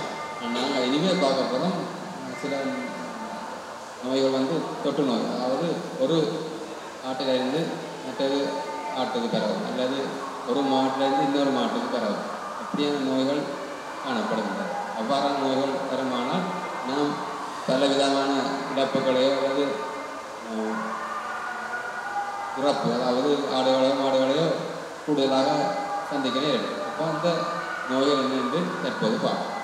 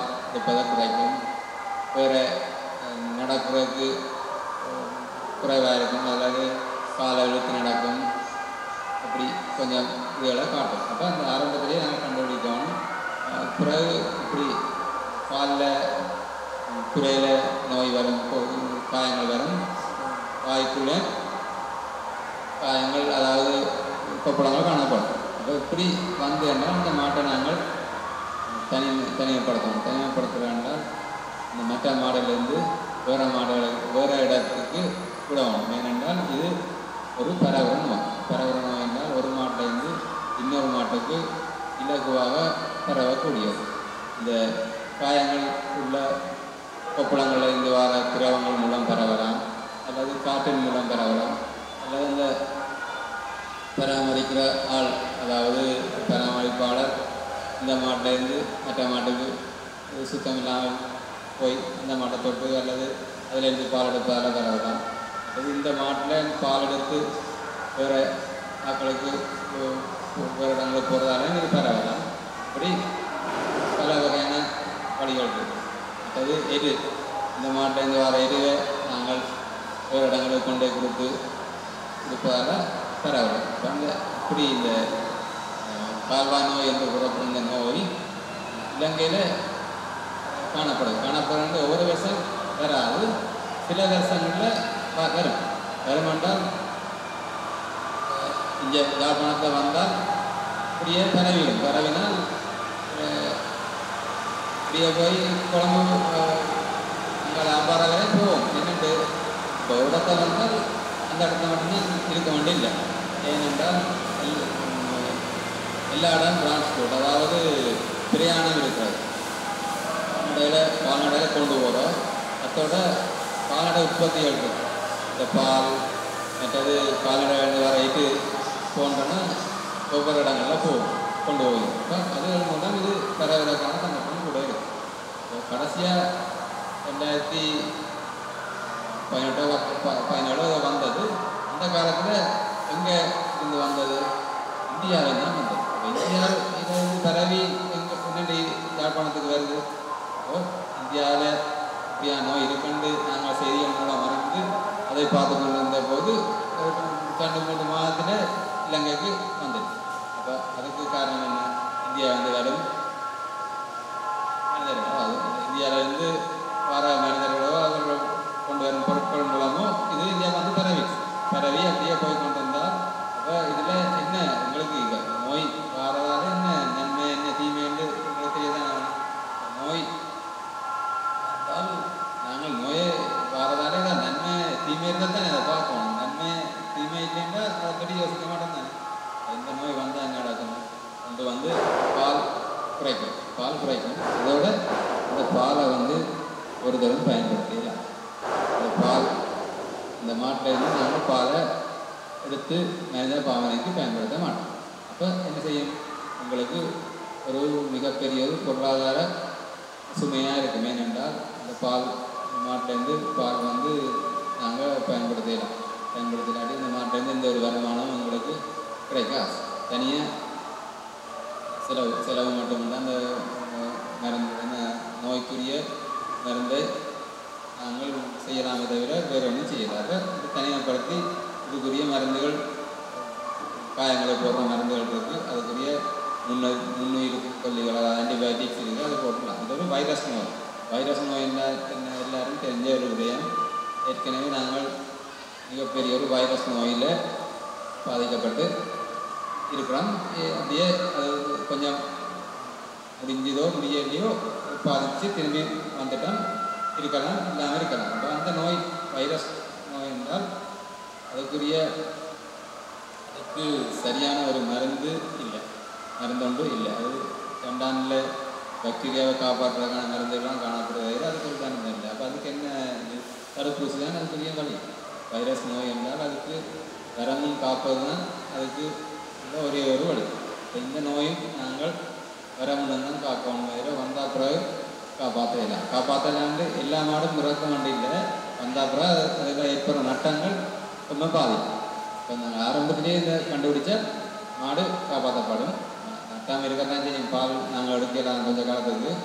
அப்போ முதல் வரமுன்னம் காப்பதற்கு ஒரு மூன்று மாதம் அளவில் வயது மூன்று மாதம். மூன்று மாதம் உள்ள கண்டுகளுக்கு நாங்கள் தடுப்பூசியை போடணும் தடுப்பூசியை போட்டால் பிறகு ரெண்டாவது டோஸ் அதாவது ரெண்டாவது தடுப்பூசி வந்து போட்டு ஆறு மாதத்துக்கு பிறகு நாங்கள் போடுவோம். அது மூன்று மாதத்துக்கு போட்டால் அப்புறம் ஒன்பது மாதத்தில் போடணும் கரெக்டாக அது போட்டோம்னா தடுப்பூசி குறிப்பிட்ட அளவு வேலை செய்யும் வேலை செய்தால் எங்களுக்கு இந்த நோய் வாரக்கம் சந்தர்ப்பம் குறைவு ஆனாலும் இந்த தடுப்பூசிகள் போடுவது வந்து மழை காலத்துக்கு முன்னே எல்லாத்தையும் செய்தோம். மழை வந்தால் கூட நாங்கள் இதுகள் இந்த தடுப்பூசிகளோ அல்லது இந்த இதுகளுக்கான ஏற்பாடுகள் செய்யலாம். ஏனென்றால் இது வந்து எங்களுக்கு செய்யும் என்றால் நோய் தடுப்பூசியில் வந்து மனநேரங்களில் வேலை செய்யும் வேலை செய்யாமல் அதுக்குரிய நோய் எதிர்ப்பு உண்டாக்குறதுக்கு நாள் புரியும் அப்போ அதுக்கான ஏற்பாடுகளை செய்யலாம்.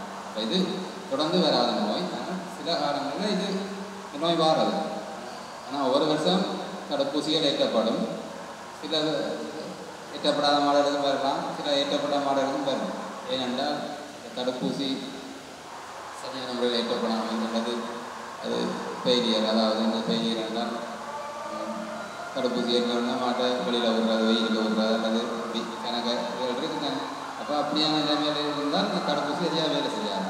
தடுப்பூசி ஏற்றின உடனே உடனே போய் அதுக்குரிய நோய் எதிர்ப்பு சக்தி வரணும்னு நாங்கள் நினைக்கக்கூடாது. அது கிட்டத்தட்ட மூன்று கிழமை பிடிக்கும். மூன்று கிழமைக்கு அந்த மாடு நல்ல ஆரோக்கியமும் நல்ல சாப்பாடும் நல்ல சரியான முறையில் காமிச்சா தான் நம்ம தடுப்பூசி அதுக்குரிய நோய் எதிர்ப்பு சக்தியை கொண்டு வரணும் இப்போ எங்களை மாதிரி தான். நாங்களும் எங்களுக்குரிய வைரஸ் நோய்க்கு தடுப்பூசியை ஏற்றுக்கொண்டால் அது ஏற்றப்பட்டு சில காலங்களின் பின்பு நமக்கு நோய் எதிர்ப்பு சக்தி ஏற்படும். அப்போ உடனே ஏற்றின உடனே அடுத்த உடனே நமக்கு நோய் தேடி வரணுன்றது தவறு.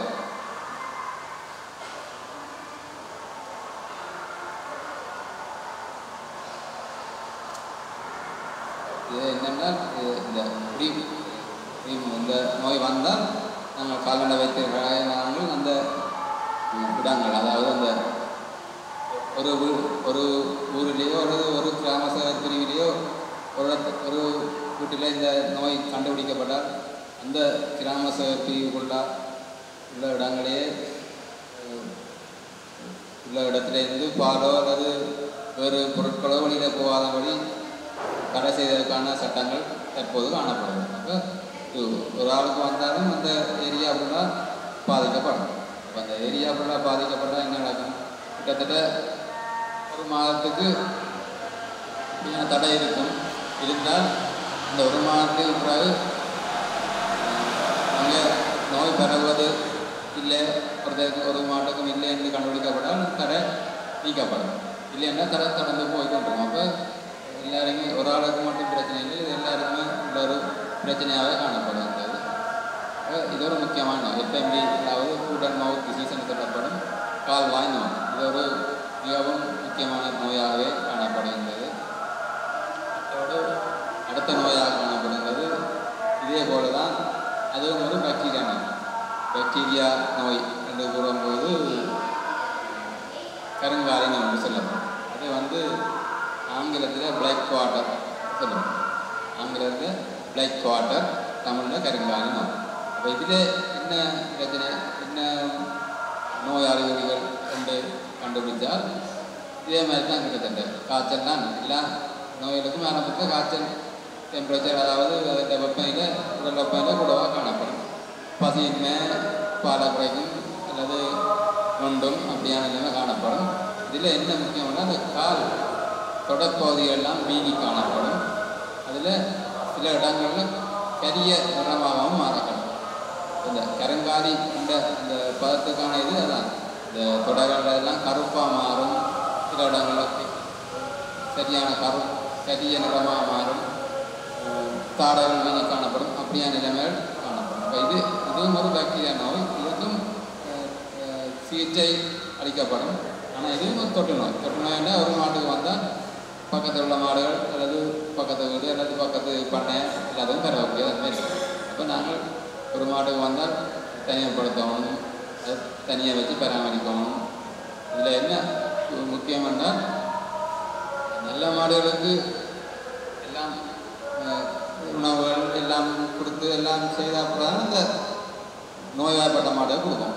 அப்போ கொடுத்து இந்த பராமரிப்பாளர் சண்டை சரியாக கவனித்து தன்னை சுகா சுகாதாரத்தை சரியாக பொறுமையாக தான் வேற மாடுகளுக்கு தொற்றாமல் தடுக்கலாம். இல்லையென்றால் இது தொற்றுவதை நாங்கள் தடுக்கலாம். அது இதுக்கும் ஒரு வேக்சின்ஸ் தடுப்பு மருந்து இருக்குது தடுப்பூசி தடுப்பூசி எனப்படும். இருக்குது இதுவும் கிட்டத்தட்ட ரெண்டு ரெண்டு ரெண்டு மாதங்களுக்கும் ரெண்டு வயது வரை உள்ள மாடுகளை தான் தாக்கணும் ரெண்டு மாதங்களுக்கும் ரெண்டு வயது ரெண்டு வயது அப்போ அதுக்குள்ள நாங்கள் வேக்சின்ஸை தடுப்பூசியை போடுவோம். போட்டால் அது நமக்கு மிகுந்த பலனை அளிக்கும். தடுப்பூசி போட்ட மாடுகளுக்கு இது வராமலும் தடுப்பூசி போட்ட போடாத மாடுகளுக்கு வந்தும் காணப்படும். அப்போ இது இது பொதுவான இது கட்டாயம் கட்டாயம் அது பலகாலம் இல்லை. இந்த இடங்களில் இல்லை. ஆனால் இது ஒரு பொதுவான நோயினுடைய நாங்கள் சொல்லி கொண்டிருக்கோம் இந்த வகையில் கூட்டன் நோய் எஃப்எம்டி ரேக்வார்டு ரெண்டும் மிக முக்கியமானதாக காணப்படுகின்றது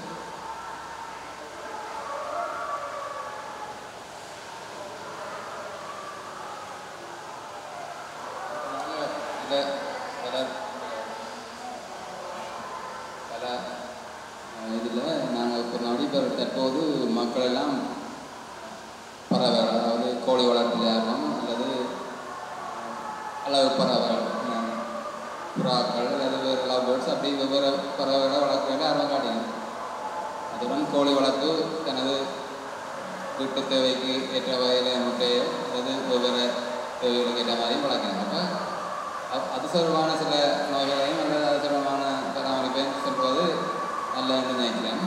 அந்த வகையில் கோழிகள் வளர்ப்பது அஹ், பலர் தாங்கள் தங்களோட வீட்டில் வச்சோ அல்லது பொரித்து தங்களுக்கு ஏற்ற மாதிரியான அளவில் வளர்ப்பினர் சிலர் வேறு இடங்களில் வாங்கி அதாவது பண்ணையிலையோ அல்லது கோழிகள் விற்கிற இடங்களையோ வாங்கி வளர்க்கக்கூடிய சந்தர்ப்பம் இருக்கிறது. அந்த வகையில் ஒரு நாள் வயதுள்ள கோழி ஒரு நாள் குஞ்சு என்று கூறுவோம். இந்த குஞ்சை நாங்கள் வாங்கி- வளர்க்கும் போது சரியாக அதுக்குரிய நோய் எதிர்ப்பு வேக்சின்ஸ் அதாவது தடுப்பு மருந்துகள் வழங்க வேண்டும் ஏனென்றால் இது கோழிகளுக்கு முக்கியமாக வைரஸ் தாக்கம் அதாவது வைரஸ் நோயினால் கூடுதலாக இந்த விலங்குகள் இந்த கோழிகள் அல்லது பறவைகளுக்கு வைரஸ் மூலம் தான் நோய் பரவு அப்போ அது வைரஸ் இங்கே இங்கேருந்து காற்றின் மூலம் தான் கூட வரும் காற்று காற்றின் மூலம் தான் பரவும். அப்போ இலகுவாக பரவ முடியாது. காற்றின் மூலம் தான் இங்கேருந்து வரலாம். எல்லாருக்கும் தெரிஞ்சது ஏவியன் இன்ஃப்ளூன்ஸாக வரணும் அது இங்கேருந்து வேண்டாம். இது இங்கேருந்து வேற இல்லை. அது வேற இல்லை. வெவ்வேறு இருக்காது. அதாவது நாம் நாங்கள் இதுகளுக்கான ச- மருந்துகள் சரியான முறையில் கொடுப்போம். அந்த வகையில் பிறந்து கோழி குஞ்சு பிறந்து ஏழு நாள் வயது அடையும் போது அதுக்குரிய முதலாவது தடுப்பு தடுப்பு மருந்து வழங்குவோம். அதை நாங்கள் சொல்கிறது இந்த நோயை சொல்கிறது ரணிக்கட்டு அதாவது வைரஸ் நோய் அதாவது ரணிக்கட் கூறப்படும் ஏழு நாள் வயதுடைய கோழி குஞ்சுக்கு வழங்கப்படும் ரெண்டாவது தடுப்பு மருந்து பதினாறு நாள் வயதுடைய கோழி குஞ்சு வழங்குவோம் அது ஒரு என்று சொல்லப்படும். அப்போ முதலாவது ஏழு நாள் வயது? ரெண்டாவது பதினாலு நாள் வயது. மூன்றாவது திரும்பவும் ஒவ்வொரு ஏழு நாள் இடைவெளியில் வழங்குவோம் அப்போ மூன்றாவது இருபத்தொரு நாள் வயதுடைய ஒரு குஞ்சு வழங்குவோம். அதுவும் திரு இதே ரெண்டாவது டோஸ் அதாவது பனிக்கட் இன்னும் நோயின் ரெண்டாவது டோஸ் வாங்கும் நாலாவது கம்போரோ நோயின் ரெண்டாவது டோஸ் வழங்குவோம் அப்போ ஏழு நாள் பதினாலு நாள் இருபத்தொரு நாள் இருபத்தெட்டு நாள் வயதில் குழந்தைகளுக்கு இந்த இந்த மருந்துகளை நாங்கள் வழங்குவோம். இப்போ நாங்கள் நீங்கள் கேட்கலாம் இந்த என்ன என்ன எப்படி நோய்கள் இருக்கும் என்ன என்று கேட்கலாம். இப்போ அணிக்கட் என்ற நோய் என்று சிறு குஞ்சுகளுக்கோ அல்லது கோழிகளுக்கோ வரக்கூடிய நன்மை இருக்குது ஒரு கழுத்துகள் திரும்பி அல்லது பச்சை வெள்ளை கலந்த பிச்சங்கள் போடும். இந்த கழுத்தெல்லாம் திரும்பி கால் நடக்கிற அவர் அப்படியான நோய்கள் வந்தால் அவற்றை காப்பாற்றுவது கடினம். அப்ப வர முன்னமே காப் காக்க வேண்டும் அதற்காக தான் நாங்கள் இந்த தடுப்பு மருந்துகளை வழங்குகிறோம் இந்த வகையில் வலிக்க வர முன்னும் நாங்கள் இளநாள் தடுப்பு மருந்து வழங்குவோம் எல்லா கோழிகளுக்கும் வழங்குவோம். இந்த தடுப்பு மருந்தை வாங்கி கொண்டு போய் உடனடியாகவே கலந்து கொடுப்போம் தண்ணியில் கலந்து கொடுப்போம் ஏனென்றால் இந்த மருந்து அஹ், குளிர்சாதனப்படியே ரத்து பண்ணப்படும். கொஞ்ச காலத்துக்கு பிறகு அது இல்லாமல் போயிடும். அப்போ அதோட செயற்பாடு இல்லாமல் போயிடும். அப்போ உடனடியாக கொண்டு வழங்கினா தான் நாங்கள் அதுக்குரிய செயற்பாட்டை வழங்கணும். அதுக்குரிய நன்மையை பண்ணலாம் அப்போ கோழி குஞ்சு உடனடியாக வழங்கணும் அதே போல் ரெண்டாவது நோயாக கம்போரும் அது நோயும் லகு அதாவது கோழிகளுக்கு தாக்கத்தை ஏற்படுத்தும் வெள்ளை எச்சங்களை கொண்டு வரும் கோழிகள் இறக்கும் அப்போ அப்போ அவ்வாறான நோய்களுக்கும் நாங்கள் தடுப்பு மருந்து மூலமே பலனை அடையலாம். வேறு ஒன்றும் செய்ய முடியாது. இப்போ நாங்கள் லகுவாக கோழிகளை பாதுகாக்கின்றால் இவ்வாறான செயற்பாடுகளை செய்யணும். அத்தோடு கோழிகளுக்கு நாங்கள் ஏற்கனவே ஆடு மாடுகளுக்கு பார்த்தது போல் பூச்சி மருந்து வழங்குவோம். இப்ப பூச்சி மருந்து கிட்டத்தட்ட ஒன்றரை மாதம் அளவுள்ள கோழி குஞ்சுக்கு இந்த ஒன்றரை மாதம் உள்ள கோழி குஞ்சுக்கு பூச்சி மருந்து வழங்கலாம் ஆனால் இந்த ஒன்றரை மாதம் என்றால் நாங்கள் வீட்டில் வளர்க்குற கோழி வளர்ந்துவோம் வழங்குவோம் வெளியில் உள்ள விலங்குகளுக்கு அதாவது ப்ராய்லர்ஸ் போன்றவற்றுக்கு தேவையில்லை. ஏனென்றால் ப்ராய்லர்ஸ் வந்து நாற்பத்தஞ்சு நாள்லேயே நாங்கள் அதை அகற்ற வேண்டியால் அதுக்கு தேவைப்படாது. மற்றும் முட்டை கொடுக்கின்றவர்களுக்கு வழங்குவோம் அந்த வகையில் கோழி. பூச்சி மருந்து நாங்கள் வழங்கக்கூடியதாக இருக்கிறது ரெண்டாவது பல கோழி கோழி ஏற்கனவே கூறினதுபடி கோழி கூடு கோழி உணவு கோழிகளுக்கான சுகாதாரம் நோய் எதிர்ப்பு சக்தி போன்றன சரியான முறையில் பேணப்பட்டால் கோழிகளில் நோய் வருவதை தடுக்கலாம். அப்போ இந்த நோய்கள்லாம் புறாக்கள்லேயும் வரும் அதாவது அணிக்கட்ட இந்த நோய் புறாக்களையும் தலையை சுற்றி அது இறப்பதற்கு காரணமாகிறது அது புறாக்களையும் நாங்கள் தடுப்பு மருந்துகளை சரியான முறையில் பயன்படுத்த வேண்டிய தேவை இருக்கிறது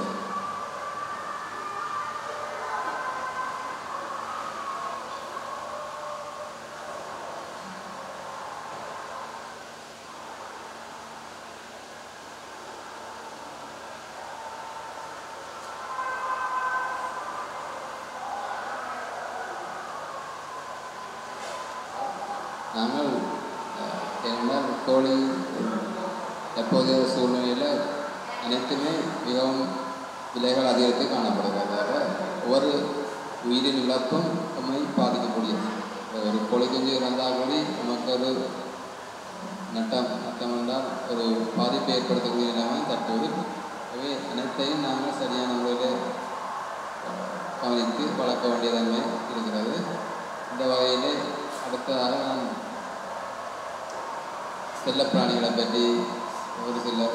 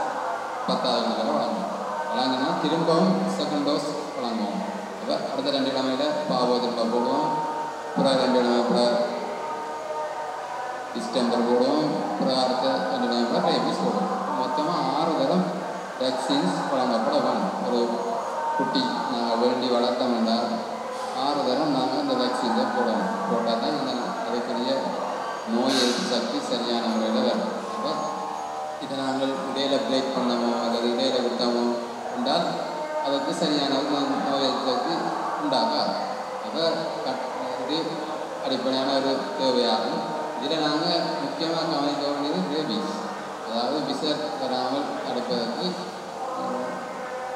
இலங்கை அரசாங்கத்தினாலும் பல வகையான திட்டங்கள் நடைமுறைப்படுத்தப்படுகிறது அதில் ரேபீஸுக்கு எதிராக தடுப்பு மருந்து தடுப்பூசி இலவசமாக வழங்கப்படுது இப்போ அதில் வீட்டில் இருந்தாலும் போட்டு வீட்டில் வார நாயலுக்கு இருந்தாலும் வீட்டில் வேலைக்கு இருந்தாலும் இந்த தடுப்பூசியை போட்டு நாங்கள் பாதுகாக்கணும். வேண்டாம் இது?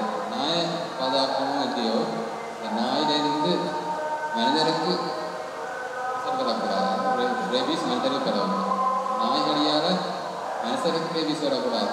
அது இது ரெண்டாம் கட்டம் அப்போ நாங்கள் முதல்ல நாய் நாயை பாதுகாத்தவங்க தான் இந்த நாயிலேருந்து மனுஷருக்கு நாய்க்கடியிலேருந்து மனுஷருக்கு ரேபீஸ் வராது விசர் வராது நாய்க்கு நாய் ஊசி போட தடுப்பூசி போடலைன்னா அதில் பிரயோசனம் இல்லை மனுஷருக்கு இந்த நாய் கடிக்கிறாரு அப்புறம் மனுஷருக்கு அதுக்குரிய ட்ரீட்மெண்ட் செய்யணும் என்ன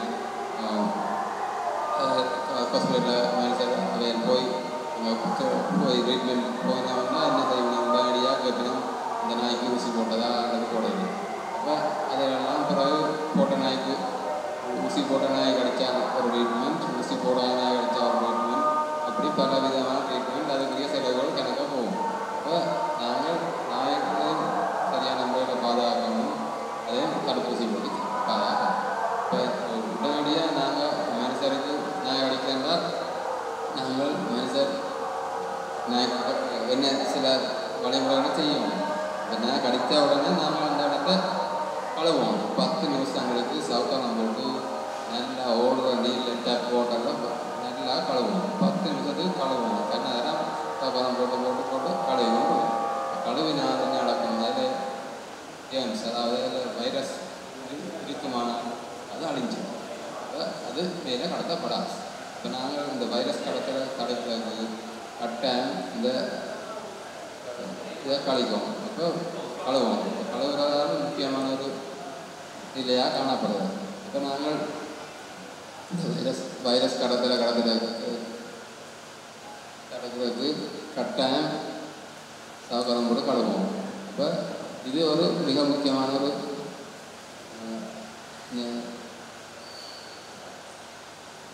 ஆரம்ப நிலை. என்ன இப்போ இந்த இந்த முதலுதவியை செய்துட்டு நாங்கள் ஹாஸ்பிட்டலுக்கு போனோம்னா அங்கே எங்களுக்கு நோய் வர சந்தர்ப்பம் மிக மிக குறைவாக காணப்படும். அப்போ நாங்கள் இது ஒரு மீ எங்களுக்கு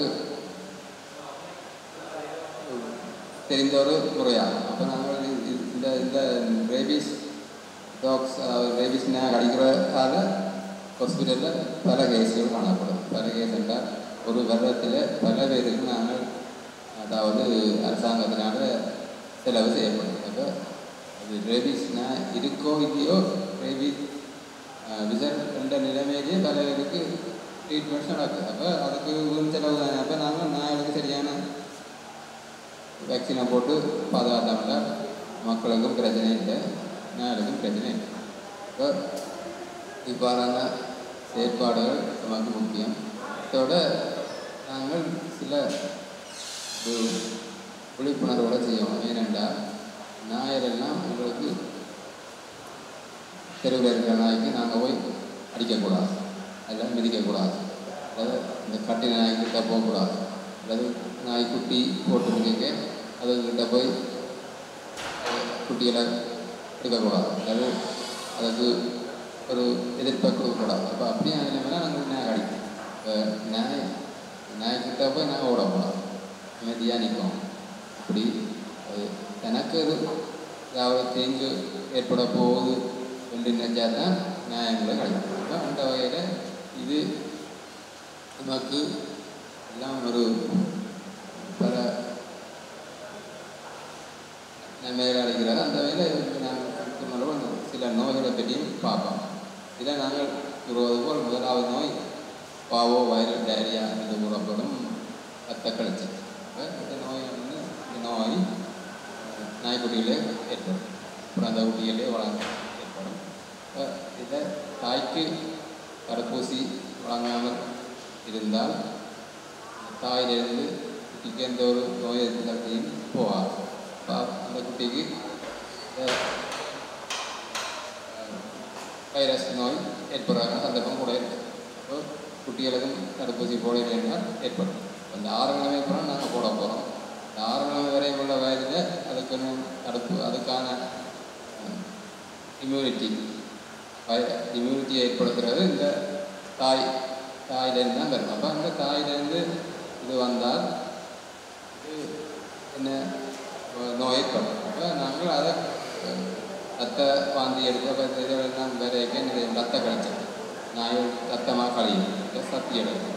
சோர்ந்து காணப்படும். பசி இல்லை அப்போ அப்படியான ஏற்பட்டால் அது ஒரு கடுமையான நோய் வைரஸ் நோய் பாபோ வைரஸ் சொல்லப்படும் உடனடியாக ட்ரீட்மெண்ட் செய்யணும். இல்லைன்னா நாய் நாங்கள் இலக்க நேரிடலாம். அதுக்கான ட்ரீட்மெண்ட் தொடர்ச்சியான முறையில் செய்ய வேண்டிய தேவை ரெண்டாவது நோயாக காணப்படும் டிஸ்டம்பர். டிஸ்டம்பர் என்றால் அது பலவிதமான தொகுதிகளையும் கொண்ட நோய். அதாவது நரம்பு தொகுதி உணவு தொகுதி சுவாச தொகுதி. அப்போ இந்த நாயில் எல்லா வகையான வியாதிகளும் காணப்படும். சுவாசிக்க கஷ்டப்படும் சாப்பிட கஷ்டப்படும் வைத்த டேரியாவும் மற்றது பிட்ஸ் அதாவது அதுக்கு நடங்கும் காலல். லேசாக காணப்படும். அப்படி பல விதமான நோய்கள் வந்து அப்படி அப்படியே காணப்படும். அப்போ இது ஒரு மிக என்ன? கொடியன என்றால் இந்த நாய்களுக்கு இறப்பை ஏற்படுத்தினோம் உடனடியாக நாங்கள் இதுக்கு ட்ரீட்மெண்ட் மருத்துவத்தை செய்யாட்டி இந்த நாயை நாங்கள் இழக்க நேரிடலாம். அப்போ இந்த நோய்களை உடனடியாக நாங்கள் செய்வதற்கு ட்ரீட்மெண்ட் செய்வதற்கு ஆவணம் செய்யணும். ட்ரீட்மெண்ட் செய்கிறது ஒரு நாளோட ட்ரீட்மெண்ட் முடியாது. தொடர்ச்சியாக செய்யணும். பல நாட்கள் அந்த குணப்படும் வரை செய்யணும். அப்படி தொடர்ந்து செய்யணும் சில பலன்களை ஏற்படும். அதாவது குணப்படுத்த முடியும். அல்லது இந்த நாய் இறந்துடும். கருத்து அதாவது அந்த நோயின் தாக்கம் தீவிரமாக காணப்பட்டால் நாயை காப்பாற்ற முடியும். அதே மாதிரி ரேபீஸ் ரேபீஸ் என்றால் நாய் நாய்க்கு ரேபீஸ் அதாவது விசர் வந்துட்டு என்று நாங்கள் கண்டுபிடிச்சாங்க கண்டுபிடிச்சால் அதுக்கு ட்ரீட்மெண்ட் இல்லை.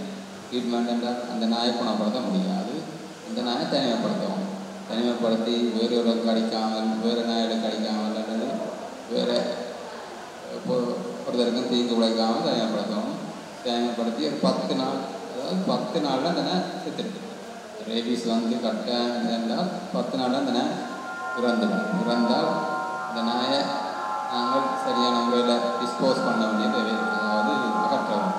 அதை செக் பண்ணலாம் டெஸ்ட் பண்ணலாம். டெஸ்ட் பண்ண கட்டாயம் இல்லை என்றால் சரியான முறையில் குழி வெட்டி அகற்ற வேண்டிய தாக்கணும் அல்லது தாக்குறான் நல்லது என்றால் வைரஸ்கள் தாக்குறான் நல்லது இருக்கிறோம் பார்க்க அப்படியான செயலில் நாங்கள் தாட்டு விடாமல் நல்லது.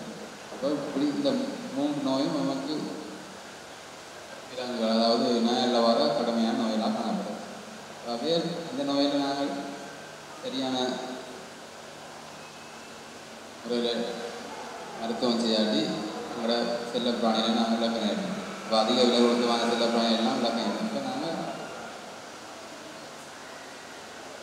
கரமண்ணம் காப்பது சிறந்ததாக கருதி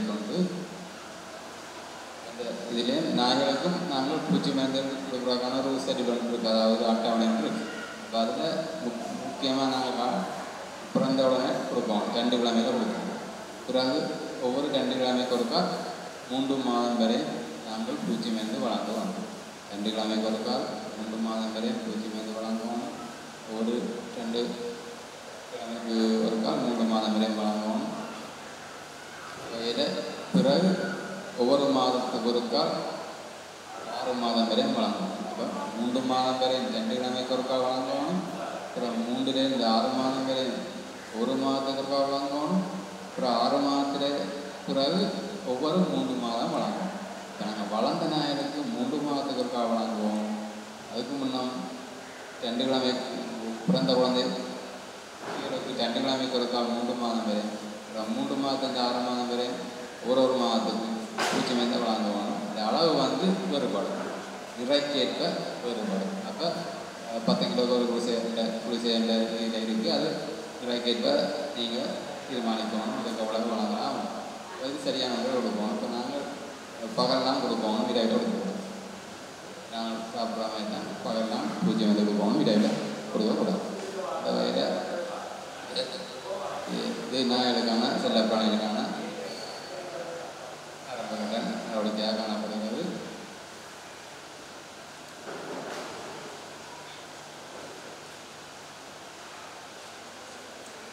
இதில் என்ன எல்லா விலங்குகளையும் எடுத்தாலும் இந்த விலங்குகளில் வரான நோய்கள் காணப்படுறது அரமண்ணம் காப்பது தான் சிறந்தது. மனிதரை உண்மை போல் அல்லாது வந்தபின் மருத்துவம் செய்வது என்பது நமக்கு பொருளாதார ரீதியான பாதிப்பையே ஏற்படும் வரமுன்னமே காப்பது தான் சிறந்தது மிக சிறந்ததாகும். ஆகவே நாங்கள் என்ன வளர்க்க ஆடோ மாடோ கோழியோ நாயோ அதற்கு முன்னால் சரியான ஒரு ஆலோசனையையும் சரியான வைத்திய ஆலோசனையையும் வளர்ப்பாளர்களின் ஆலோசனையும் பெற்று அதை வளர்ப்பதே மிகச் சிறந்ததாகும் சிறந்த சிறந்ததாகும் என